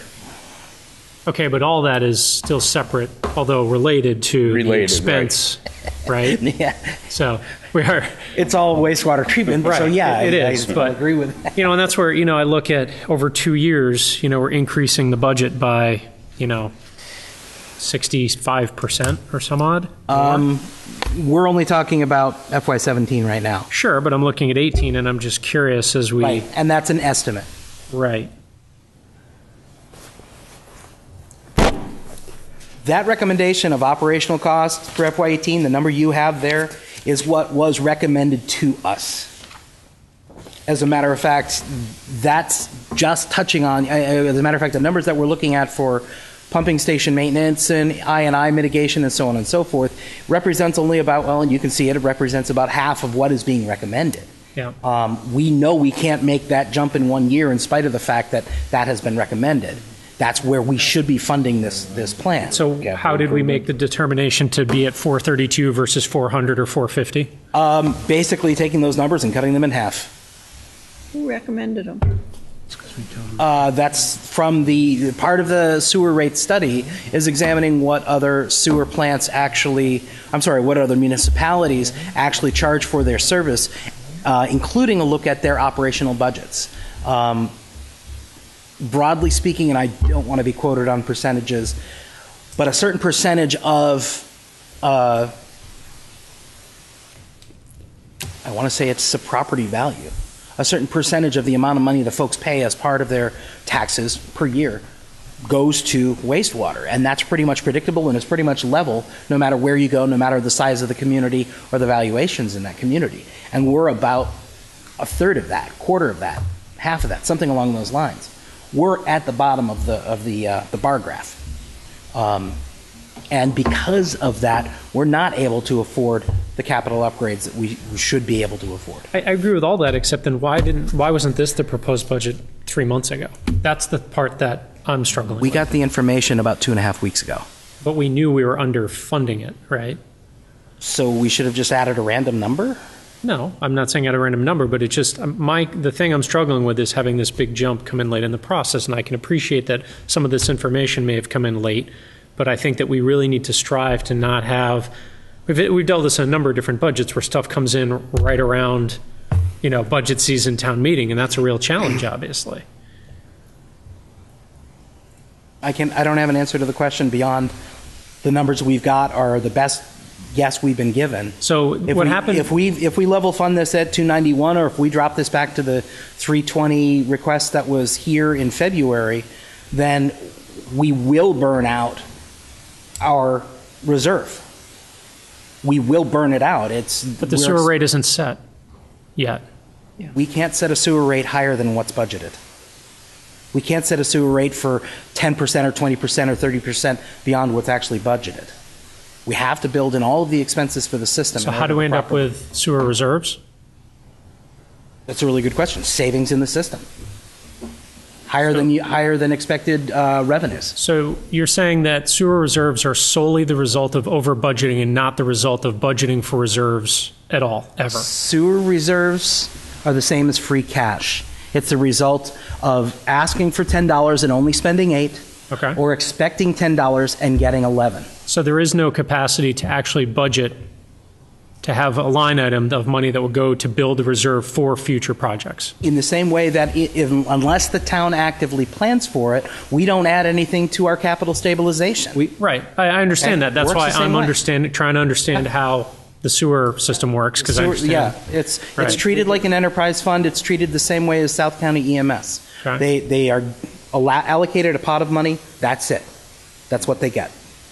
Is part of the, the issue of what. Dylan is bringing up about why is it so late? Isn't it a, a new and fresh look at the whole sewer system? No, we, there's no way in hell, Well- as a town, we should have let that rate end up there. I mean, we did it to ourselves. Right, and, and that's fair. I think that's what I'm saying. So could I ask, Thank- just to finish, the information we got two and a half weeks ago was specifically the line items at the bottom that have been added?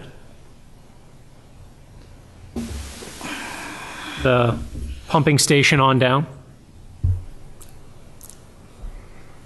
It was those items. It was the fix to the sewer line maintenance line item.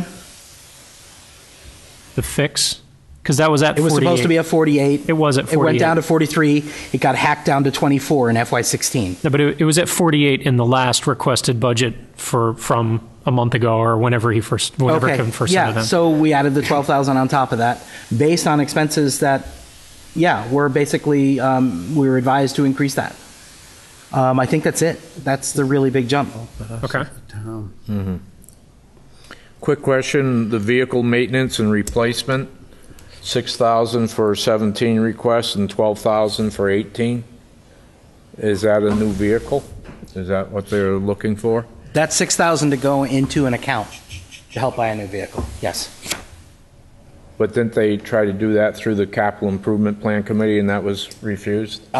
Or not recommended, let me put I, that way? it was, they were asked, it was not recommended, um, or was it recommended? I don't remember. Um, Either way, he removed the request. No matter what, Kevin withdrew the request because in that case, the vehicle was supposed to be purchased from sewer revenues, I'm sorry, sewer reserves, and we already knew that our reserves account was going to get hit pretty tremendously. So Kevin actually withdrew the request. I mean, it's sort of challenging the way the framework of this is set up because as the finance committee, to put just the finance committee hat on, the sewer users are feeling the effects of the increase in the budget. And the role that the town plays is the potential liability if you're not doing proper maintenance. Mm-hmm. Mm-hmm. So you could take a very simplified view that the higher the better. I don't think that that's fair. I think that's part of what needs to be revisited as we look towards these large changes to sewer system budgeting, expenditure, and projects.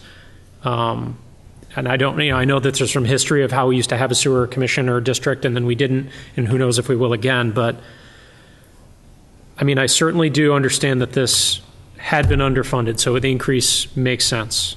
And I can appreciate now that it's been articulated that some of these items at the bottom were not known until two and a half weeks ago. That's why they have kind of been added late in the game. So I am inclined to sort of take Kevin's advice, as he has spent a lot of time on this, and this is part of a much larger, long-term project to overhaul and revamp our sewer system. That said, it is, you know, it is a big, it's a 48% increase. And But what's the alternative? That's, um, Well, the alternative would be to, I, I would not, I would not even consider level funding, and I am certainly very open to increasing from the 345. I think the only alternative would be to pick a number between 345 and 432. I think that's kind of what we're talking about here. I don't think anybody would suggest anything outside of that range, just to kind of put some boundaries on the conversation.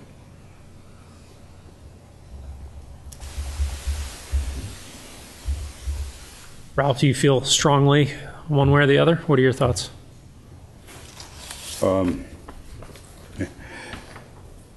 costs are getting high in your Deerfield, but I guess my background is, as you well know, is highly mechanical, uh, maintenance and all of these things. I have been concerned about the sewer lines, about the treatment plants. I've had an opportunity to tour those a few years ago, and I thought, wow, we're stuck in 19, I said 60, I guess it was 1970, but so my passion goes out to this is a very important thing. I mean, it's critical that it works and works well because there's liabilities if it doesn't. Uh, I hate the cost end because everything in the town, schools and all of our costs are going up. But this is one that gives me a lot of fear because it, it has to work. And uh, I, th- I think the presentations that they've done have been pretty straightforward. It, you know, I'm not a expert in this business, just like Doug said, but but I, I listen to the words, and and it seems as though the people are very sincere and they're knowledgeable at wha- about what they're doing. And then I look at the other towns around us, and they're getting gully whumped with costs and sewer problems and so forth. So, I, I you know, I, I guess I, out of ignorance of the detail and respect to those who are involved, I, I tend to support it. You know, but it's a lot of money. I I, you know, I, I, I think we're a year ahead of ourselves in some things where we've got to sort out the difference in liability between the town and the sewer commission slash district and and get that straightened away a bit. And we have to have a much more active sewer commission, I guess, that that reviews rates almost annually after this. You, you may be right, but I don't see But I don't know. Is there? It sounds like a lot of this is like. I get the feeling critical. You know, is is can this all just hang together for another year and not fail? Doug, uh, with the Board of Selectmen's meeting the other night, towards the end, they talked about setting up a committee to review with Kevin and so on and so forth, and uh, Weston and Sampson. What role would that committee play as far as a volunteer? Wouldn't they be doing an overall review of where the sewer system is at the moment and what's being recommended, what needs to be done, and so on and so forth? What I was asked to do was take down some names. Yeah. Right. Okay, So The so. committee hasn't been formed nor charged. Um, And honestly, with the elections coming up in two weeks, two weeks, two weeks from tonight, Right. um, with the Board of Selectmen having one more meeting, and with the likelihood that there's going to be at least one, if not two, new faces on the board, um, I would, if I were to tell them to, what to do, or if I were to advise them, my recommendation to the board is to hold on doing anything with that committee until after the reconstitution and reorganization or in, in early Right. May, um, because the priorities of the board may change. Um, so, to answer your question, I don't know what the committee would will be charged to do. Okay. Um, it could very well be that the people who are elected to the board, or the bo- board as it currently stands, however, whatever form it may take, it may be that they're going to charge that committee to become sewer commissioners. I don't know. Okay. I don't know, and I don't want to speak for them. All right, no, thank you, I, I appreciate the input. So the scope hasn't been defined yet? No, and, and he's right. If you lose Right, two-thirds yeah, of the board, it could be changed, and sure. Okay, no, um, so, how do people feel about this budget? that's a huge jump. I just, I, I understand what Ralph's saying, it's, it's critical, but at the same time, I think we're a little ahead of ourselves once again. I mean, the only other option, and I, you know, we are getting close to town meeting. We do have one more meeting on Thursday, is we could try to either have some communication with Kevin or see if he could come in, one or the other, for Thursday, and look to do this then. Um, I don't know if a lot more is. I don't think anybody doesn't agree there are projects that need to be done down there Right. that it- with the expense, uh, with this, with this expense budget will fund. And I, I think it's just, it's challenging, you know, for me that the majority of this request came from Weston and Sampson's output rather than our own input, but that's part of what we're using them for. So I kind of see both sides of that. Um, I'd be more inclined to just go ahead and vote this tonight, but if people felt very strongly, I can certainly do what I can to reach out to Kevin and see if he is either available or could answer um, some particular questions if we have them. Well, if I it's, think we could vote it tonight myself. if myself. it's because appropriate, I, Right. I would make a motion to, People, with it. people uh, at the town, annual town meeting could put a hold on it if they want to discuss it because of the huge increase. Okay, and, and that's as, as requested? as just to be clear? requested, yes. Okay. Yeah. So I have a motion t- uh, for the budget as requested. Do I have a second?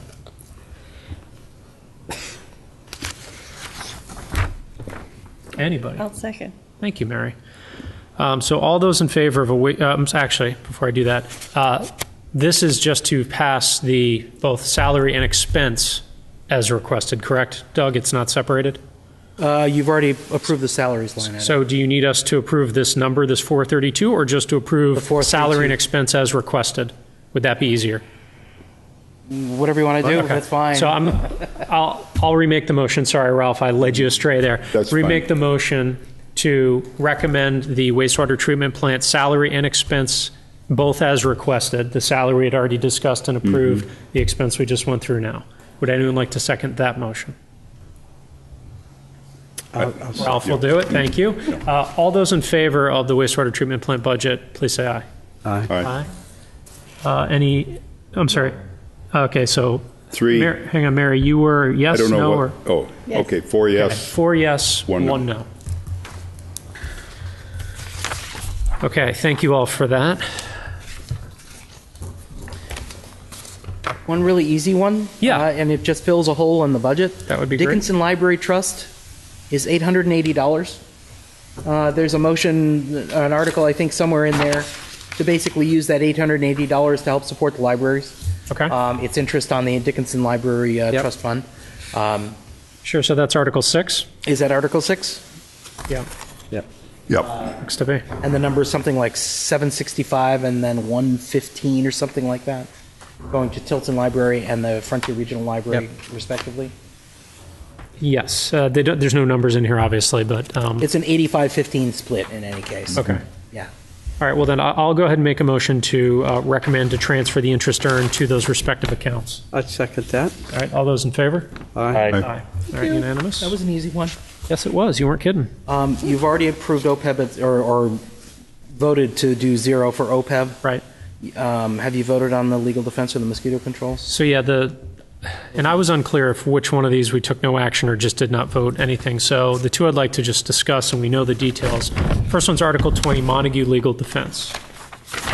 And I believe we took no action last week. And I just want to bring this up because my concern with this is not the case at hand, literally. My concern is with towns funding other towns' lawsuits. Well, yeah, and My, just to finish, and then I know you have an opinion, so I definitely want to hear. Um, This, to me, is why FRCOG is there, and I know there's a lot of legal particulars as to why certain entities are and are not a part of this case, and I certainly do understand that we are indirectly, if not directly, impacted by the results of this case, so I understand why it is of interest to the town of Deerfield, but I just have concerns as a matter of precedent for towns to be sending money to other towns' legal cases. I don't know to what extent we've done this in the past, and if this request for this same case had come through FRCOG, I would be, I would not have this concern about precedent and about it being directly to towns, but that's my concern, and that's why, right now, I, I have more interest in, in voting to not recommend this or recommend this at zero for that reason, and I want to open that back up. I I can change this for you a bit. Um, It didn't come from FRCOG because the only one allowed to be an intervener was Montague by the courts. It turns out that we've already given FRCOG $8,500 of our money. Right. So they're going to pull that from them and give it to Montague. Right. In FY16. Right, Th- that so has part of- not expended. so It was the appropriated, but has FY16 not left the town. Right. So the FY16 8,500 that had been appropriated at last year's town meeting that had not yet been expended Yep. is then going to go through FRCOG. Or it's just for us. We'll just, I think we're pulling it back and then giving it to them. Or I don't know the Can we do that? mechanics of that, Doug, Sorry? can we do that? or just Pull the money instruct them. back? Well, if it was appropriated to FRCOG, can we pay it to Montague instead?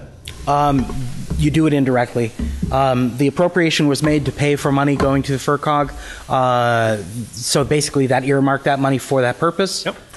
The Board of Selectmen will not be using it. Therefore, at the end of the year, it falls back into free cash. Right. Um, we can't appropriate directly from an appropriation. We can't say, take the $8,500 we wanted to use for this and use it for that instead. Right. That's not legal. Um, the best we can do is let that 8,500 fall into free cash and then appropriate clean. So then that doesn't really have anything to do No. with this. No, No. no, other than the Like, I, reassurance I, that it I won't be understand that we had, as a town, decided to appropriate money towards FRCOG, towards endeavors similar to what this case is about, so I get that. But it doesn't change the fact that we had done that towards FRCOG, and now this request is to be paying another town. The courts deemed that the only county entity they would allow to intervene on this particular suit was the town of Montague, Right? not the county, not anyone else. So they became the point person for this particular suit. Yeah, I understand why they are. I get that. I Yeah. just, I mean, Doug, do you have, what, what are your thoughts? And again, this is, for me, I don't even, it, it- I know this, what this case is about is very charged for a lot of people. I'm not even getting into the aspects of what this case is about. It doesn't even matter to me. This is about, should the town of Deerfield be funding legal fees for other towns' cases of which Deerfield is not part of the case? That's my concern. Those are my sentiments, too. I, I have trouble, I do have trouble with, with the principle. I understand what it's all about. I do but too. But I struggle Yeah. with setting the precedent Right. for future issues down the road. It's burned, burned away at me all the time. I mean, I, I understand sort of the big, I'm not close to it, but I understand the bigger picture, and it sounds like it's honorable work by people. But I do have a concern from a principle point of view. Well- But- From a principle point of view, this company is talking to a Deerfield resident about buying their property to throw one of these huge compressor stations in Deerfield. It'll off-gas when they, the- their process is to blow those out periodically. When that off-gases, the the prevailing winds are going to fill the valley, and it's going to fall in the valley. See, this So is the- Board of Health issue. And look, th- this is, you know, Bill, I very much respect your opinion. But that's this. not in this, This, you know, this is okay. entire. Yeah, that that's that's the emotional aspect of this, which is fine, and that's going to come up at town meeting, and it may well be voted through based on that premise, and I'm fine with Mm. that. But I don't know if that's enough from a budget and process standpoint for us to look forward and say that that's a fiscal direction for the town to go in. And again, having nothing to do with the merits of the case. On top of which, the case itself isn't directly rela- related to compression, compression, compressor stations. No, it isn't. You're right. That's why I thought, not trying to get out of it, but no action is, I don't know, is that, Well, that's the thing. I don't know if I feel indifferent about it. I think I do have an opinion about it. I think it should be zero because I don't think we should be funding. That's that's what I wrestled Oh, with from yeah, our last one, you know. And, yeah, and I, I- see where you're coming from. It is kind of yeah, I, I see what you're saying, yeah. I think we just got to clarify that this vote is about the article itself, not about the issue. Right. Because I think, I mm-hmm. think, like myself, you could, you could feel one way about the issue and feel another way differently about the article. Yeah. And I think we need to be able to separate the two and let the public bring it up on town floor. Because obviously, I'm sure they will. I'm sure somebody Right. will put a hold on it. I think, I think that's well said there. That's, there are two things going on here, and, uh, Oh, yeah, it's very, very difficult. Tim. Mary, what do you think? Do you, like, you've obviously got a lot of perspective over a number of years of budgets. Given kind of what we're wrestling with here, do you think that this, from a finance committee perspective, feels more like something we should be not recommending to fund, or that we should be not taking action on? I know emotionally which way I'd go, but financially, I don't believe we should support this article. Okay, That's kind of how okay. I feel too. It's, uh, yeah.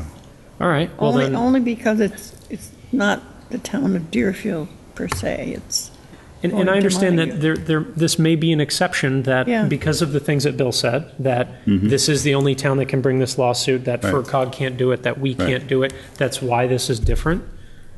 but the lawsuit is about Berkshire. moratorium, isn't it? It's about the moratorium with Berkshire, but Berkshire, it's all yeah. part of that process. Yeah, yeah. That's what makes it tough. Wouldn't Montague be using FRCOG uh, resources as part of this? I know that FRCOG isn't named in this, isn't a It- uh, it- I- plaintiff in the suit. I'm assuming Montague was allowed it because of enough of the industrial development got squashed in their community when they wanted to tie Oh, yeah, in. yeah, right. So it's been an economic problem for Yeah. that town. And they're trying to show that there was a plan from eight years earlier that Berkshire put in to say how they'd meet their Right, shortage. right. And they never followed up on it. So I, I,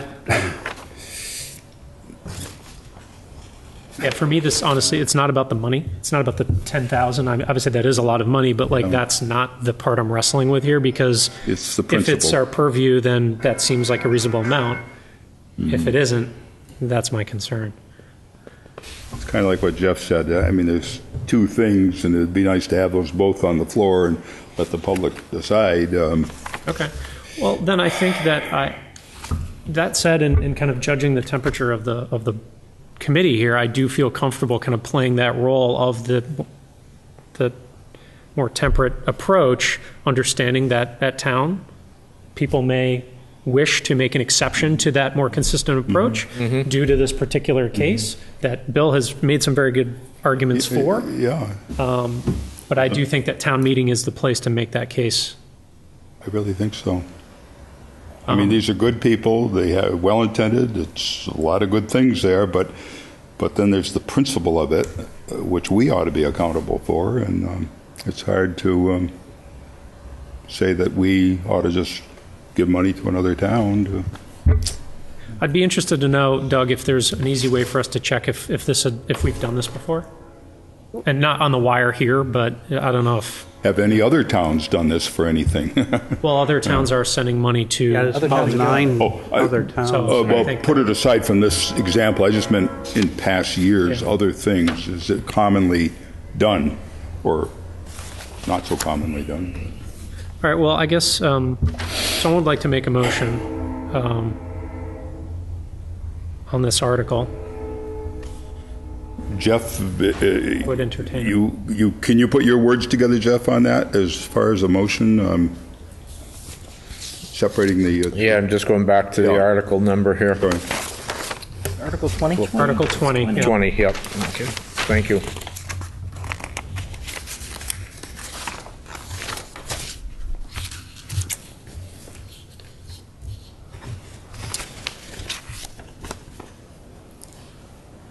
Yeah, I'd, I'll make the motion uh, to bring Article 20 to vote with the understanding that we're dealing with two separate issues here.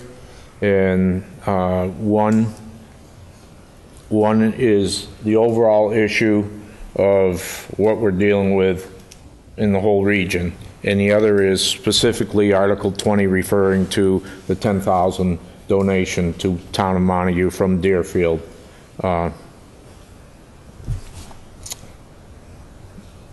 And bring that to the town floor, and we'll bring it to a vote here. That'd be my recommendation. Okay, so just to be clear, so obviously, and I'll be articulating as such kind of the way that we arrived at this decision, but are you making a motion to not recommend Article 20? Yes, I am. Okay. Anyone like to second that? All right, Thank you, Ralph. Uh, All those in favor of not recommending Article 20? Aye. Aye. Uh, Opposed? All right. Four to one. Okay, um, the next one I'd like to touch on uh, was Article 21. And I thought we were going to bring that to vote last time, but it appears we did not. Um, This is uh, the mosquito testing. Um, And as we- I think we started to talk about, my, my stance on this is that I feel that this is a, a very important health-related issue, but given that other, that there's other testing going on that is going to be informing us of the very same information that we're going to be getting as a result of this test for $11,000, I struggle to commit that sort of money towards that end. If it was going towards getting rid of the mosquitoes or No. doing something about them, that No, would be one just thing. you got to I know. identify it Right. as carrying the disease. We already know what carries the Concern. diseases. Yeah, I mean, I, I'd be much more inclined to see the results of the, the exchange with the state about, you know, and I forget if the name is the mosquito district, but whatever the next steps would be to try to look not just for testing, but what, what we're trying to do, what we're trying to accomplish by going down this path. Um, I feel right now we're just going to be getting back information that we already know because let's say that it comes back and says that towns around us have different things and we don't. We still know that we're at risk. So I, I don't, and if we, and if towns around us say they don't have anything, we still know we could be, like, it doesn't, I don't know if the results of this are going to impact our decisions of what we're going to do going forward. I think that the region as a whole is going to be Right. handle, trying to respond to and, and, and handle the risks that we're facing. And I just, I have a struggle to see how $11,000 to test around town is going to help that. It's, unfortunately, it's got to happen on a federal level, and they're talking about a budget of over 2 billion, and which should probably, most of it will go to pharmaceutical companies to come up with vaccines, but, um, but it's, they're going to, they're going to direct the direction we go. Yeah. You know, it's not going to happen locally. Remember the old, uh, Milt Williams used to go around. Anyone feel strongly either in favor of this article or in favor of not taking action on this article? I would, I'd recommend that we don't, we take no action on it and let that come up on the town floor. Because I, I can't read the population of the town and what they might want to do. Right. So. It'd be one thing if the fed, federal government and the state government were doing things for it, but they already are, right? They're Well, well, building they're funds. talking about it. They don't Yeah. really know what they want to do either. Well, I don't think us testing our mosquitoes is going to accomplish that either then. Right. No, it just, you could run around saying the sky is falling or. All right, well, are there any other strong opinions, one way or the other, or is everybody kind of, you know, to me, I feel, I feel similarly about this and the last one, you know, in terms of taking action versus not taking action, so that's why I'm not kind of centering on no action. Um, I understand the town will have its opinion and- and vote Yeah. its will. Yeah. Um, I, I, I guess, you know, I don't know uh, anything really about it per se. I understand they're going to test for mosquitoes, but uh, is it a certain kind of a disease they're looking for, or a certain kind of mosquito, or, or what if we find it, or what if we don't find it? All 11,000 does is just identify something. But then, once something is known to exist or not to exist, then what do we do? Well, we already know people that have contracted things in surrounding towns that we're, so we're just looking to confirm what we're already trying to respond and react to. Yeah, That's- yeah. I'll make a motion that we don't recommend this and let them, if they, if they feel that strongly about it, as far as the residents of Deerfield, then they Okay. can bring it up on town floor. All right, thank you, Jeff. Anyone uh, care to second that? I'll second it. Thanks, Mary. Uh, All those in favor of not recommending Article 21? Aye. Uh, Is that unanimous? Yeah. Yep. Okay. And Doug, I just wanted to confirm on Article 10, um, as I re- recalled it and wrote it up in the minutes, when read, that will be split into two sections, one being the engineering for the Headworks project, and then separately, the actual Headworks project itself. Did I remember that correctly? I don't know that that's the case. The advice I've get- been given from town's counsel is to combine it into a single motion. Okay, so, because last week we had voted to recommend the engineering and not recommend the project. Should we be revoting this just as one response to Article 10 in total? Act as you see fit. I don't know. Okay, well, um, The, essentially, it's yeah, the 130 for the engineering and authority to borrow. but we don't know what the project is or how much it's going to cost yet. I may have there may be more information available to the finance committee Thursday night. Okay. All right, well, uh, I would This is- recommend that you, you hold off until Thursday, until Kevin has a chance to speak to you about it. okay, I, And I, granted, this is coming at 11:59 p.m. right. You know, I mean, I can say this, it's going to be hard for me to get comfortable with a multi-million dollar project on the Thursday before town meeting. I can say that right now. But I very much then appreciate. vote it down. No, I very much, recommend no I'm, action. I'm giving that feedback now so that we can set expectations for Thursday, but I do very much value your and Kevin's input, and so unless oh. somebody feels strongly differently, I am fine holding off until Thursday. I can to have tell you that conversation. that we've been talking about this since November. That there's been at least one formal presentation open to any- everybody in town. It was videotaped. It's been available, talking about what the expectations are. It staged out the overall project over the course of years, and it defined this first step, the, the Headworks project, as the first step in the process. Right, but never at any point along the way was FY17 warrant included in that conversation. This was going to be Well, an of course FY. not. This is going to be an FY18 project, and that's what had been discussed throughout. Uh, no, actually, they were talking FY16 originally. Um, and when we said that obviously was not going to happen. Right. Um, I'm talking about since November, like the public presentation that we went to, the only thing that was slated for this year's budget session was the engineering. Um, actually, the expectation was to start the engineering. That Weston and Sampson would essentially be fronting us, uh, that they would allow us to get started with them on the engineering. It, that the um, and that the expectation is that by fall or winter into the early spring of 2017, which is still FY17, mm-hmm. that by then the engineering would be complete, the bidding process would be complete, our grant application process would be complete, and we would have a better sense of the overall cost. And all along the way, we've been talking about multiple sources of funding. MassWorks to start with, mm-hmm. USDA rural development money as a secondary grant option. Short that, USDA RD money as a loan option, a very low interest rate loan option. Um, and the expectation, again, all along has been if there's any expense, that it's going to be rolled into the overall expense of operating the system and funded through sewer I, I, fees. I appreciate that. It's just, it, it, it's reminding me of kind of the frustrating parts of the school roof project and, and the order of operations and the time constraints on that. And I think that that's something that we'd very much like to try to avoid whenever possible on large projects. But we'll hold this off for Thursday. Very much appreciate uh, and look forward to additional input from you and or Kevin on it. Can I And make a quick comment too? Going to defer to Kevin entirely. I, I think earlier we were talking when this originally started was like 1.5 million Mm-hmm. for the headworks. Yes. And now, l- l- last figure I think we heard was 2.7 or something like that, And it's like that's my recollection. 2.9? Yeah, it's like the roof. The reason the numbers were jumping is because people were adding things onto it. And the estimates were coming in allowing for those additions.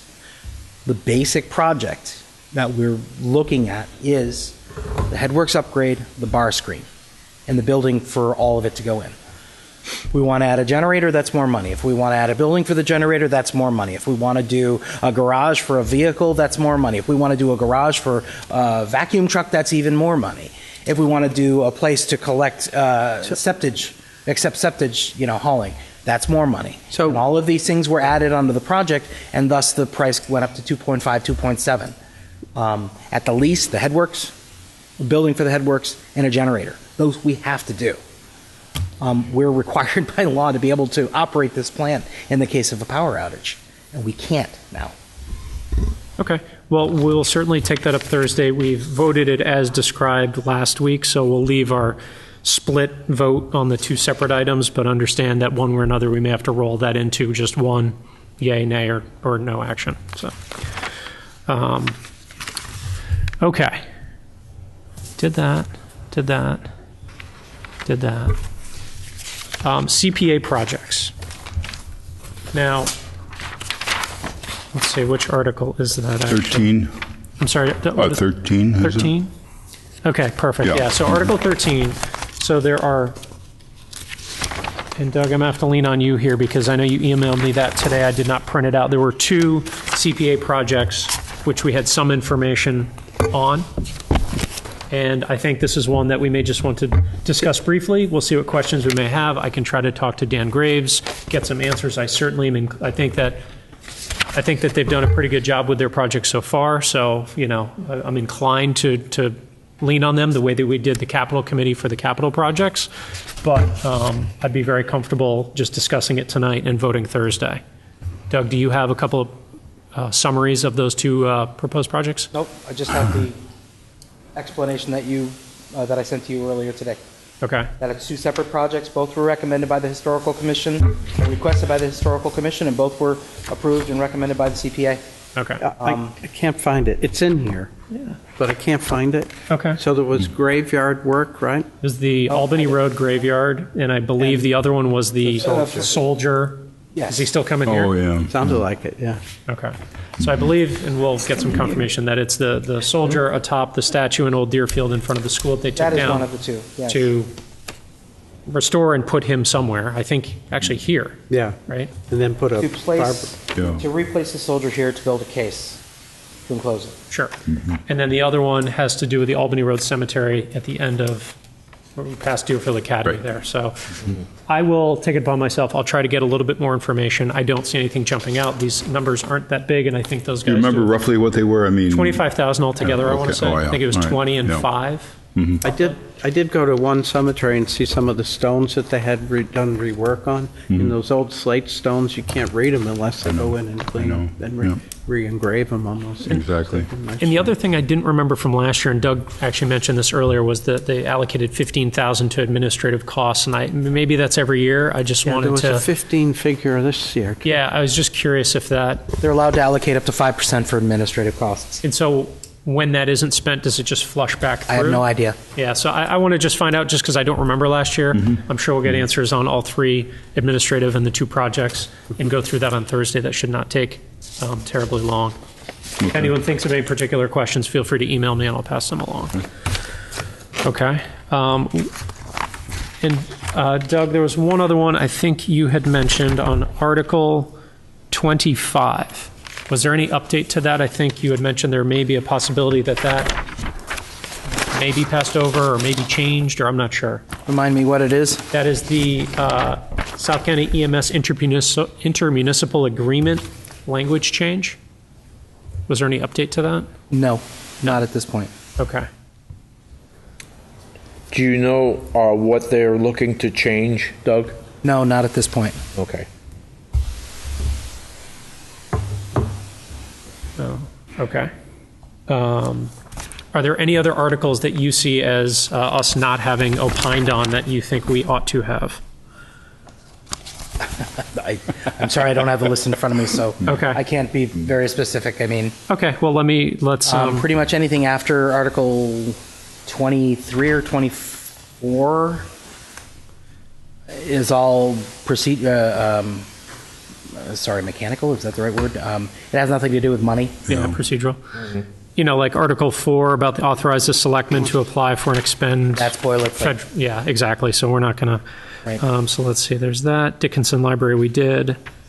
Um, Authorize revolving funds, we're reauthorizing all revolving funds. Correct. And the ones for South County, where we're going to uh, create one for capital, that'll be done in the fall. Possibly if there's a fall town meeting. Okay. Um, Eight is the budget. Nine is wastewater, which we're going to do Thursday. I'm sorry, nine is wastewater, which we did tonight. 10 is wa- uh, headworks, which we're going to do Thursday.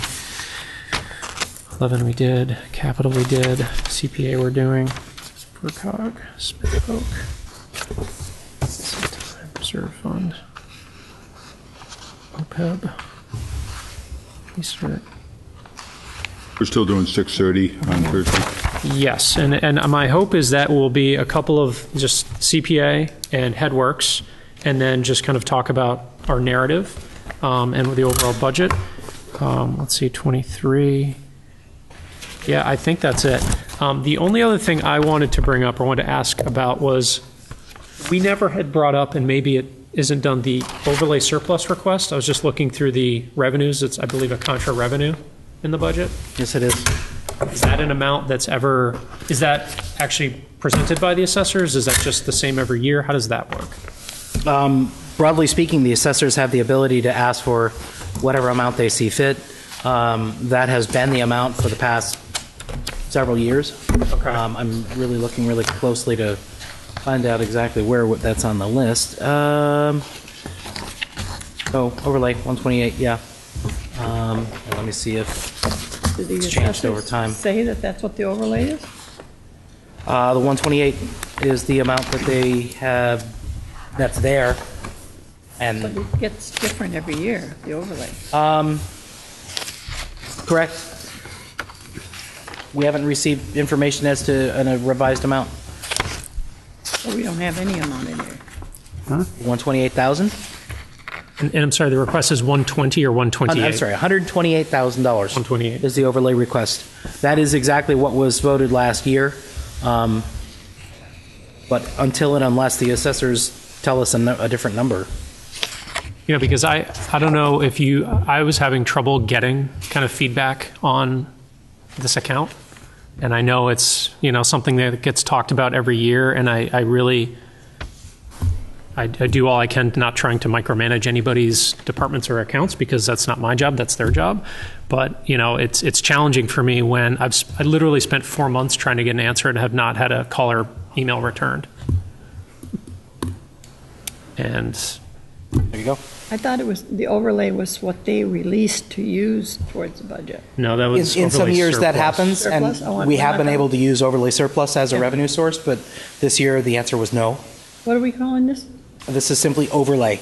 Oh, overlay. Um, Okay. It's, uh, yeah, allowances for abatements and exceptions. Um, My understanding is that the amount that's being asked for, the 128, is higher than the amount being uh, expected for abatements and exceptions, but there we are.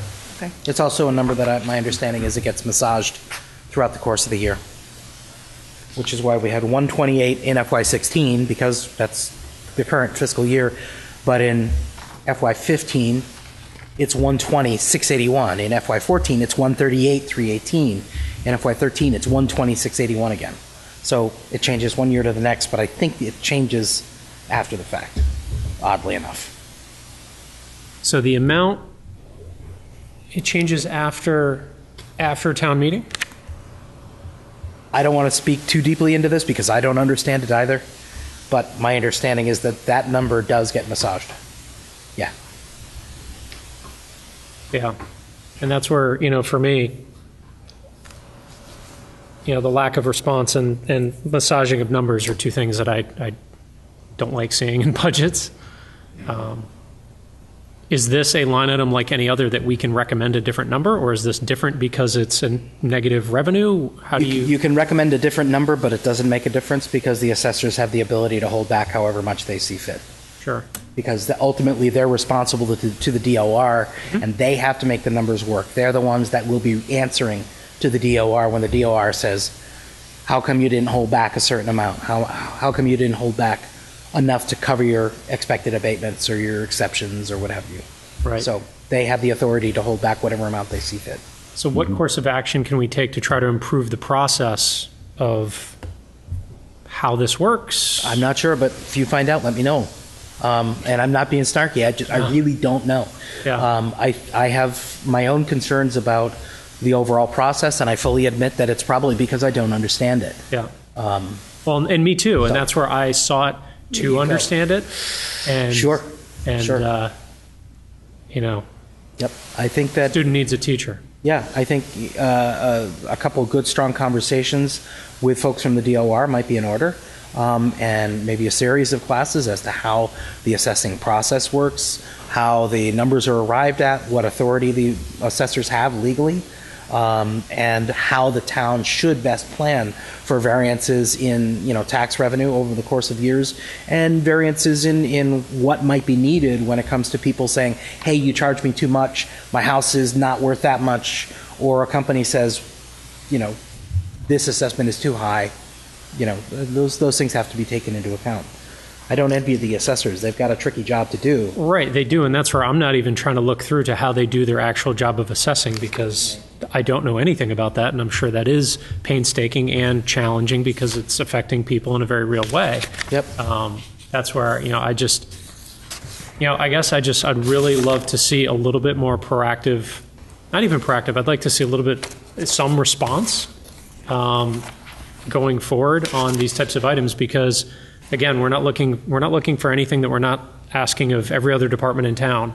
And as we've gone through this process this year and spent countless hours in and out of meetings there's very few instances and departments I can think of that that stick out to me in terms of not being able to provide information and and that's one of them.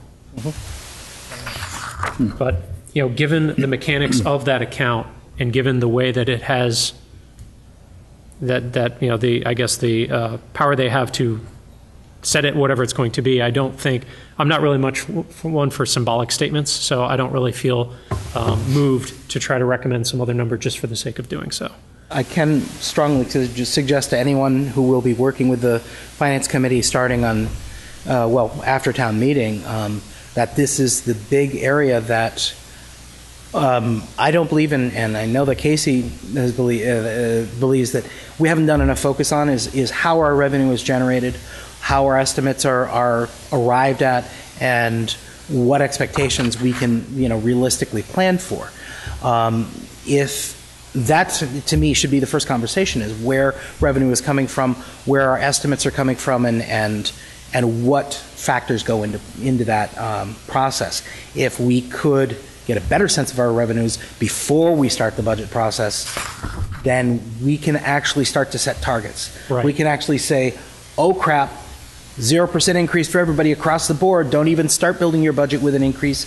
That's it." Right. Um, or this looks to, to be a good year, two and a half percent is fair, go ahead.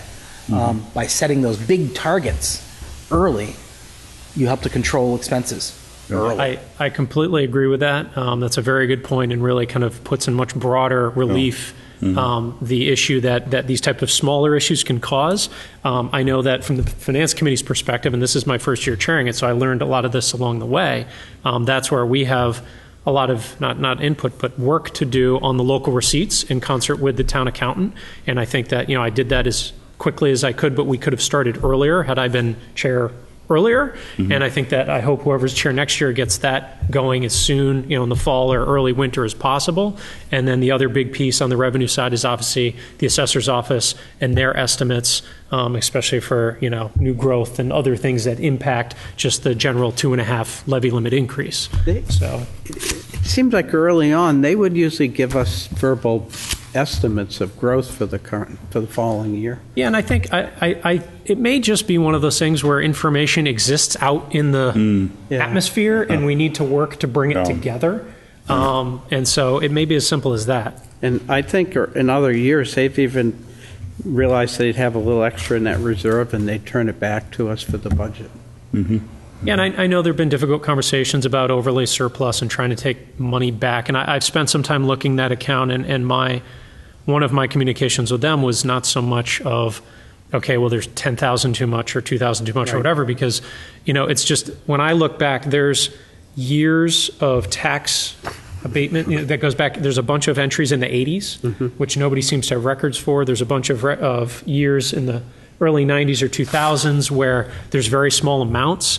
And so I just think what I'd like to see from the outside looking in is just more cleanup work. Not so much that I know what the numbers should all be, but mm-hmm. just to try to do the work to clean up and clean out some of these. And if there has to be a general reserve set against some of these years, so be it. I know that in the municipal modernization bill that the state is contemplating, I think one of the things they're going to look to do and I, I don't know if this is set, but they had at least contemplating just having one account, not each year separated. So maybe that will make it easier to just kind of be more transparent about what we have and where it is. But Um, All these things are for next year. I don't think there's anything else for us to do on that this year.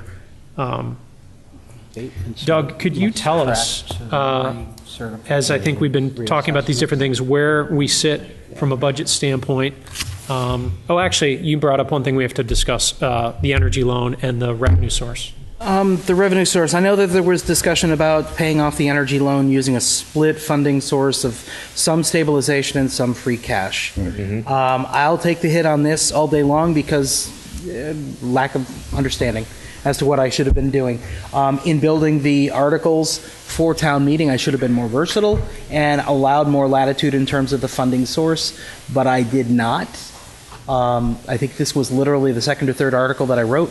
Um, and the article reads to take from free cash a sum of money to pay off a so called energy loan or whatever the text of it. Because that language was used, that limits the funding source. Okay, so, And so unfortunately, we can't take from stabilization now, to pay off that loan. could we fund one of the capital projects currently being funded from free cash with stabilization? Let's say of something around $100,000 to basically accomplish the same thing. Sure. Okay, so that's an option. Sure. Um, if you wanted to change your uh, funding source for three of the four capital items, um, not including the tractor, let's say, then you would be funding 102,599 from stabilization and 72,000 from free cash. You end up with the same end result. Okay.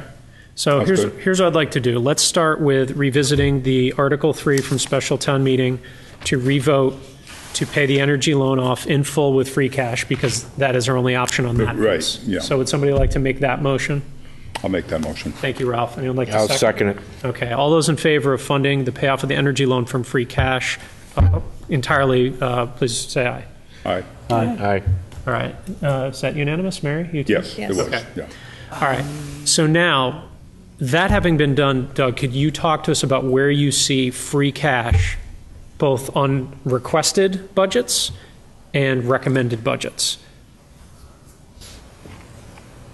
I don't understand the question. So, uh, assuming that all requested budgets are passed at town meeting, as it currently stands, that would leave a free cash number of X. Oh, I see. Okay. Um, Assuming that all recommended budgets, as per the finance committee, were passed, that would leave a free cash number of Y. Okay, so right now, there's a difference between requested and recommended of about $105,000. And I'm looking to just make sure uh, that's about 33,000 in the warrant articles and about 72,000 or so in the expense line items. Um, what is different in the warrant articles? Um, It's uh, mosquitoes and yeah, Montague. there you go. Thirty. And- Yeah, about so about thirty. Wouldn't it be bigger because isn't OPEB wasn't it fifty or did they change Uh, no, the OPEB request was ten. Okay, Yeah, that was reduced to ten by the board. So then it's those three, and then the difference between the uh, elected official salaries is Uh, 30. cor- well, elected official. That's in the operational budget. Um, Isn't it a warrant article? it's a warrant article pro forma. It's almost unnecessary, but yeah, no, I hear what you're saying. Um, so let me go back to my revenue detail. Let me take a quick look. The use of free cash on the recomm- on the requested side is about nine hundred forty-one thousand nine hundred sixty-six dollars. That would leave four hundred seventy-five thousand left. Um, add to that one hundred and five thousand, and you get the number that uh, from the finance committee's recommendation, or about five hundred eighty thousand. Yeah. So the lowest number, based on our projections, that could be in free cash if every requested budget is passed It's four seventy-five. is 475,000. Now, 475. I'd like to do some work after tonight because that, that seemed, it seemed like we were lower and that's why we were looking to use stabilization for the, Right. and I think if we had this number, we would have just done this in the first place. Right, yeah. Because we were, the, when I, the conversation I remember is it was at 300, Yeah. worst case.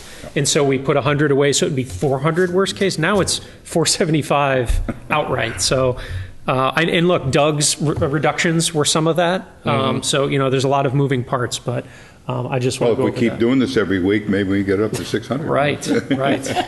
Um, so how do people feel if we don't do anything else and we leave all the capital items with free cash? The lowest we'd be with free cash going into June 30th would be 475,000. Do people feel comfortable with that number? Yeah. Yeah. At the low end. I end? do. Yes. Okay. So then I don't think we need to change anything else with funding sources. We can leave it as is. The energy loan will be paid off with free cash. We'd still have uh, an estimated minimum of 475,000, maybe as much as 580, depending on recommended versus requested budgets. If any of those change materially between now and, you know, town meeting, we can obviously revisit, but I think we're getting to the end of changes.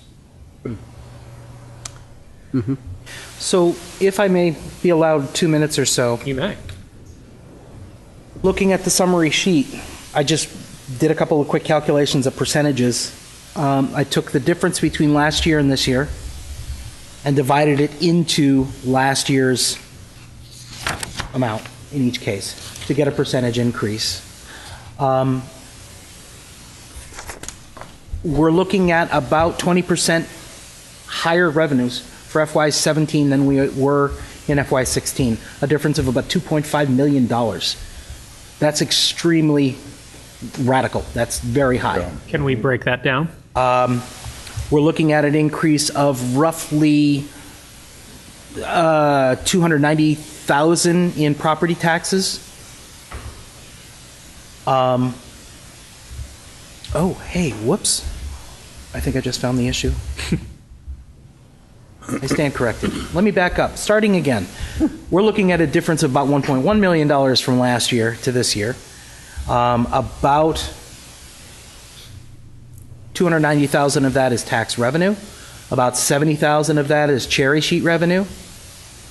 Um, a thousand in uh, local receipts increase. Wait, I'm sorry, how much? A thousand. Local receipts only went up by a thousand? Oh, I last no, I'm sorry. I, I missed a six for a four.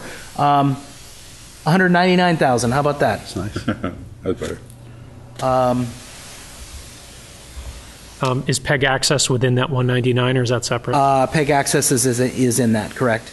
It's As well as the uh, uh, plumbing, gas, and wiring fees, uh, Okay. which were going into a revolving fund prior. Okay, So that's really not an increase. It's just a right. visibility of funds. Uh, Sewer revenue, the expectation is that that's going to go up to cover the sewer expenses. Um, And then we're using $941,966 of free cash, whereas last year we used 519. So that's an increase of $420,000 over last year that we used. So I'm sorry, on the, those numbers don't add up, though. So we used 519,000 last year in free cash. Yeah, This year we're using $941,000 in free cash. right, but 941 plus 199 for local receipts, plus 70K for cherry, plus 290 in property taxes, a lot more than 1.1 million. Um, okay, let me just make sure all the formulas are adding correctly.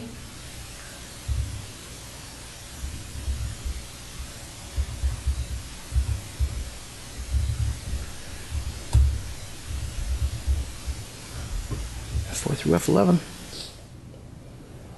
Yeah.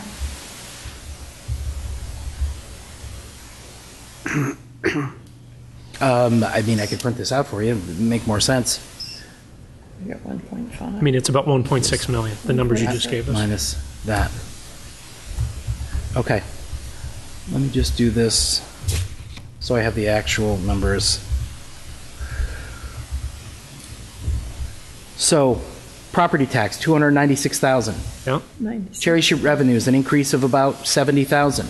yeah, Um, local receipts, an increase of about 201,000. Other funding sources, an increase of about 33,000. Other accounts, actually a decrease of $1,300. Sewer revenue shows an increase of $145,000. And free cash, an increase of $422,000 for a total of $1.1,947,000. okay, I'm sorry. So it- the increase in revenue, so the increase in free cash is the 400 number. Okay, that makes more sense. 422. Okay, Yep. okay. That's a 7.7% increase over last year. Seven points. Were you printing that, Doug, or What's that? were you printing that out? I can if you'd like, Please. I think. Please, yes. I'll go get it. Would Yeah. people like it Uh, printed gonna now, take or me, would you people I'll- like it I'll- emailed and then have print copies for Thursday? What would Yeah, be that would easiest? work for Yeah, Yeah, that's because I fine. don't know that I can print directly from this thing. So if you will email around Mm-hmm. a budget summary worksheet so we can look at all this stuff. I- This is what I want to spend Thursday talking Right. about. And I apologize, I didn't really mean to get too deep into the weeds here. Nope. Um, We're looking at a 7.7% increase in our revenues. Right. We're looking at about a 3% increase on our over operational costs. That's for the omnibus budget. Um, That 3% includes the costs that have been rolled in for wiring and plumbing inspectors, which weren't in the budget at all last year. It includes the 77,000 for the PEG access, which wasn't in there at all last year. Um, Overall, the increase is about $394,000, or about 3.01%. I, Um, I thought. That, in- that includes the increases in schools, too. Yeah, and So- I, and I thought at one point, way back when, we, we talked about that sum of money, and, and maybe that helps seed that reserve towards long capital gain projects that mm-hmm. you know, we've never done, we always talk about. So Right. just to finish 13 out of 13.4, yeah. So Doug, if, so we have revenues up 1.1, omnibus expenses up, let's say 400,000. Yeah. Okay. So the other 700,000. Well, our warrant articles are at 1.483 million, 1.483 million, whereas last year they were at 1.44 million. So that's an increase of about $440,000, or about 29%. I'm sorry, it went from 1.4 to 1.8. It went from 1.1 to 1.4, Okay. So rough numbers. 300,000, let's say. Okay, so then we have 400,000 left.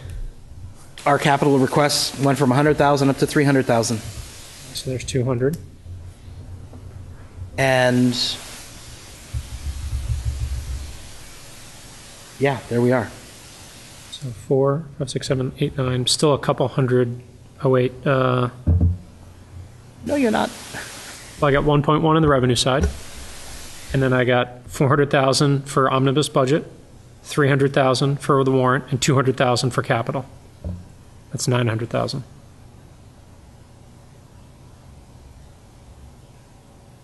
Yeah, using rounding numbers makes me nervous all the time. Um, 1.1 million increase on the revenue.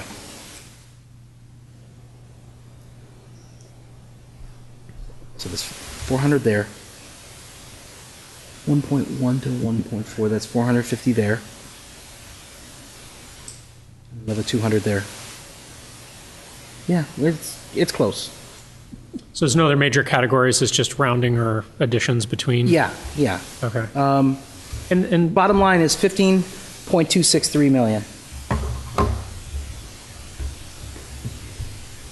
All right, and um, what do you think? What do I think? I don't Yeah. like it. I'm sorry, I don't like it because um, because it's an increase of 7.7% over last year. Last year's budget was uh, about 14.2.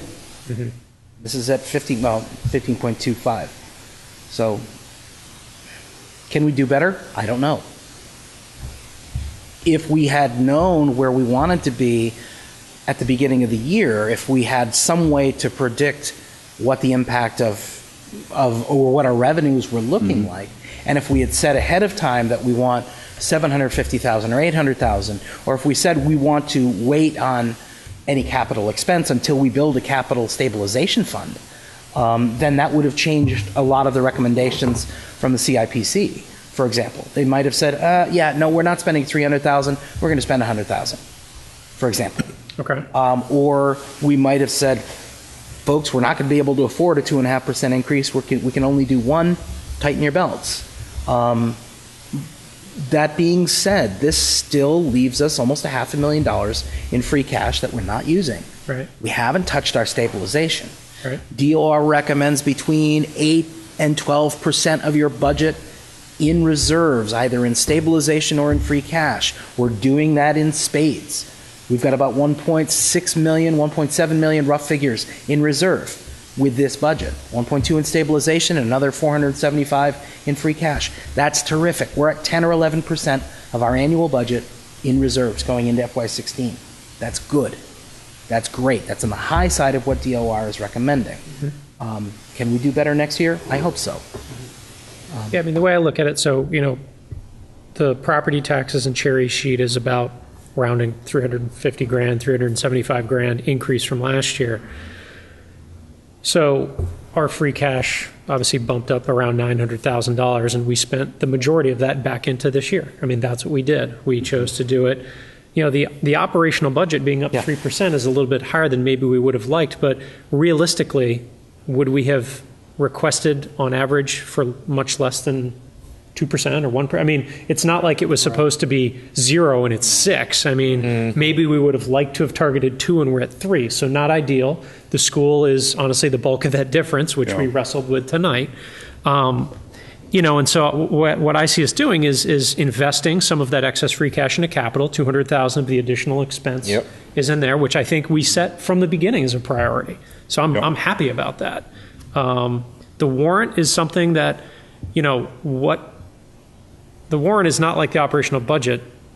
What should it be on an average year? How much should we be spending via, war- via warrant items? That I don't know. May, this is my very immediate first thought reaction is maybe the priority for next year now that this year's priority was to invest in capital and i think that we did that and try to tighten up some of this free cash jump which i think we will have done somewhat um, maybe next year a better understanding of trying to project annual warrant needs and i know there are a lot of them are surprises and a lot of them are big projects and it's difficult what do you think doug is that something we could do better at Well, I don't like you to use the term warrant because everything is a warrant Fair. thing. Um, I'll- I'll X let's, let's break budget. It, let's break it into three things. One, um, four things. Let's say your omnibus budget Right. is the operational cost of running the town Right. for the most part. Um, I think after this year, I think one of the things that has to get put into that is the South County EMS. It's a department of the town. It belongs in the omnibus budget. Okay. We've been holding it out as a special article because it's an enterprise fund, so on and so forth. Right. But there's no reason to continue to do so. At least I don't think there is. Okay. Um, I could be wrong. We still have wastewater outside of the omnibus budget, and it's operated as an enterprise fund. So there's that. Um, but there's the omnibus budget is the cost to do business in town. Um, there, the the rest of the expenses are broken up into either regional expenses, such as Franklin County Tech, the FRCOG, uh, regional waste um, management, um, Smith Vocational, other things like that. Those add up to about a half million or more every year. Okay. Um, wastewater is its own, it's not regional, but there it is. Um, we have capital expenses, a third category.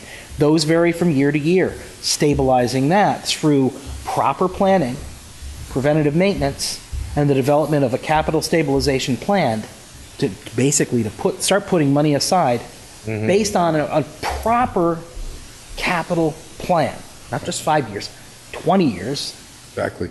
um, now you're going to start to be able to say how much can we afford each year? How much is it going to cost to get to where we need to be in 19 years when we have to replace that roof again? Yep. um, that's going to be able to stabilize our assessments as well and then finally the fourth item is the things that really do come out of left field the mosquito Yeah. items, the special study for this particular project. Uh, and there's no predicting those. Um, Right. maybe one thing we could do is prioritize those things in that order. We have to do the business of the town. For the most part, we have to do those regional things. Capital items, be nice to be able to do them all, but those are the things that we could slide to next year if we can't afford it. Right. And then everything else down below, that's lower priority. And if we can't afford it, we can't afford it, simply put. Right. Um, and I'm sure that's the way this committee has basically looked at it overall, anyways. Well, I appreciate you articulating that framework because whether it's unofficially, that is kind of how I, I and I think a lot of us do think about it. And that's where, unfortunately, where I come out on things like the mosquitoes and the Montague Defense and the OPEB. There are particular things for each, but I think a lot of those do fall into, you know, some of these items that we, if we, if the overall, you know, if some of these numbers were lower, we may be more inclined to go down that route. Um, but we currently use a large amount of free cash every year.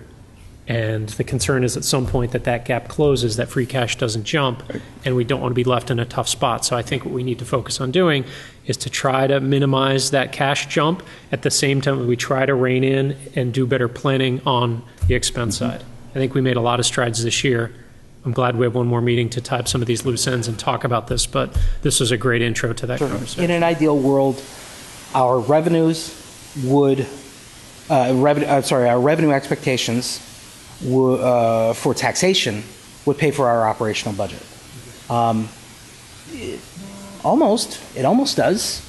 We're, for, for just general taxation, we're around 10,003, 10.3. And our operational budget, our omnibus budget is 13.4. So we're, we're a few million off. Um, okay. Is there a way to bring that down? Yeah. Sorry. Yeah. And remember, that's just taxation, that's not fees and Yeah. um, local receipts. If we add in local receipts and cherry sheet revenues, now we're up to that $13 million figure. Right. Um, So that's really not that bad. Um, But ideally, we want to reduce our our omnibus budget so that when you pay your tax bill, that's what's funding the town. Right. And then everything else gets funded through the extra gravy. I'd love to see a, a time where we don't have to use any free cash whatsoever, and we could take all that, and put it into stabilization, capital stabilization, OPEB, whatever we need to do, those long-term um, stabilizing funds that make the Right. town stronger in, in the, in the poorer times. Right. That shouldn't be overstated. Um, and I guess one other thing I'd want to make a comment on, because we talked about it last week, was the, the police payroll budget and the school resource officer. Um, I don't know all the details, but I do know that at least some people have been making additional efforts to try to put some of this documentation collaboration in place. So I don't know that we'll take it up again before we get to town meeting, but the hope is motion's read, we kind of say our piece, and then people can stand up and hopefully provide even more information and have a very productive conversation on the topic. That's So great. That was good to hear. I was happy to hear Yeah. that, so. Yeah. Um, Anything else from anyone? Um, Anything else people are concerned that we haven't discussed? Again, Thursday will be um, Headworks, CPA, and more of this type of overview conversation. Anything else we think we need to cover or haven't covered or should have covered? So, Anybody opposed to getting out of here a little bit earlier than we usually do? No. I make a motion, we adjourn. All right. Seconded. All right, all those in favor? Aye. Thanks, guys. Thank you.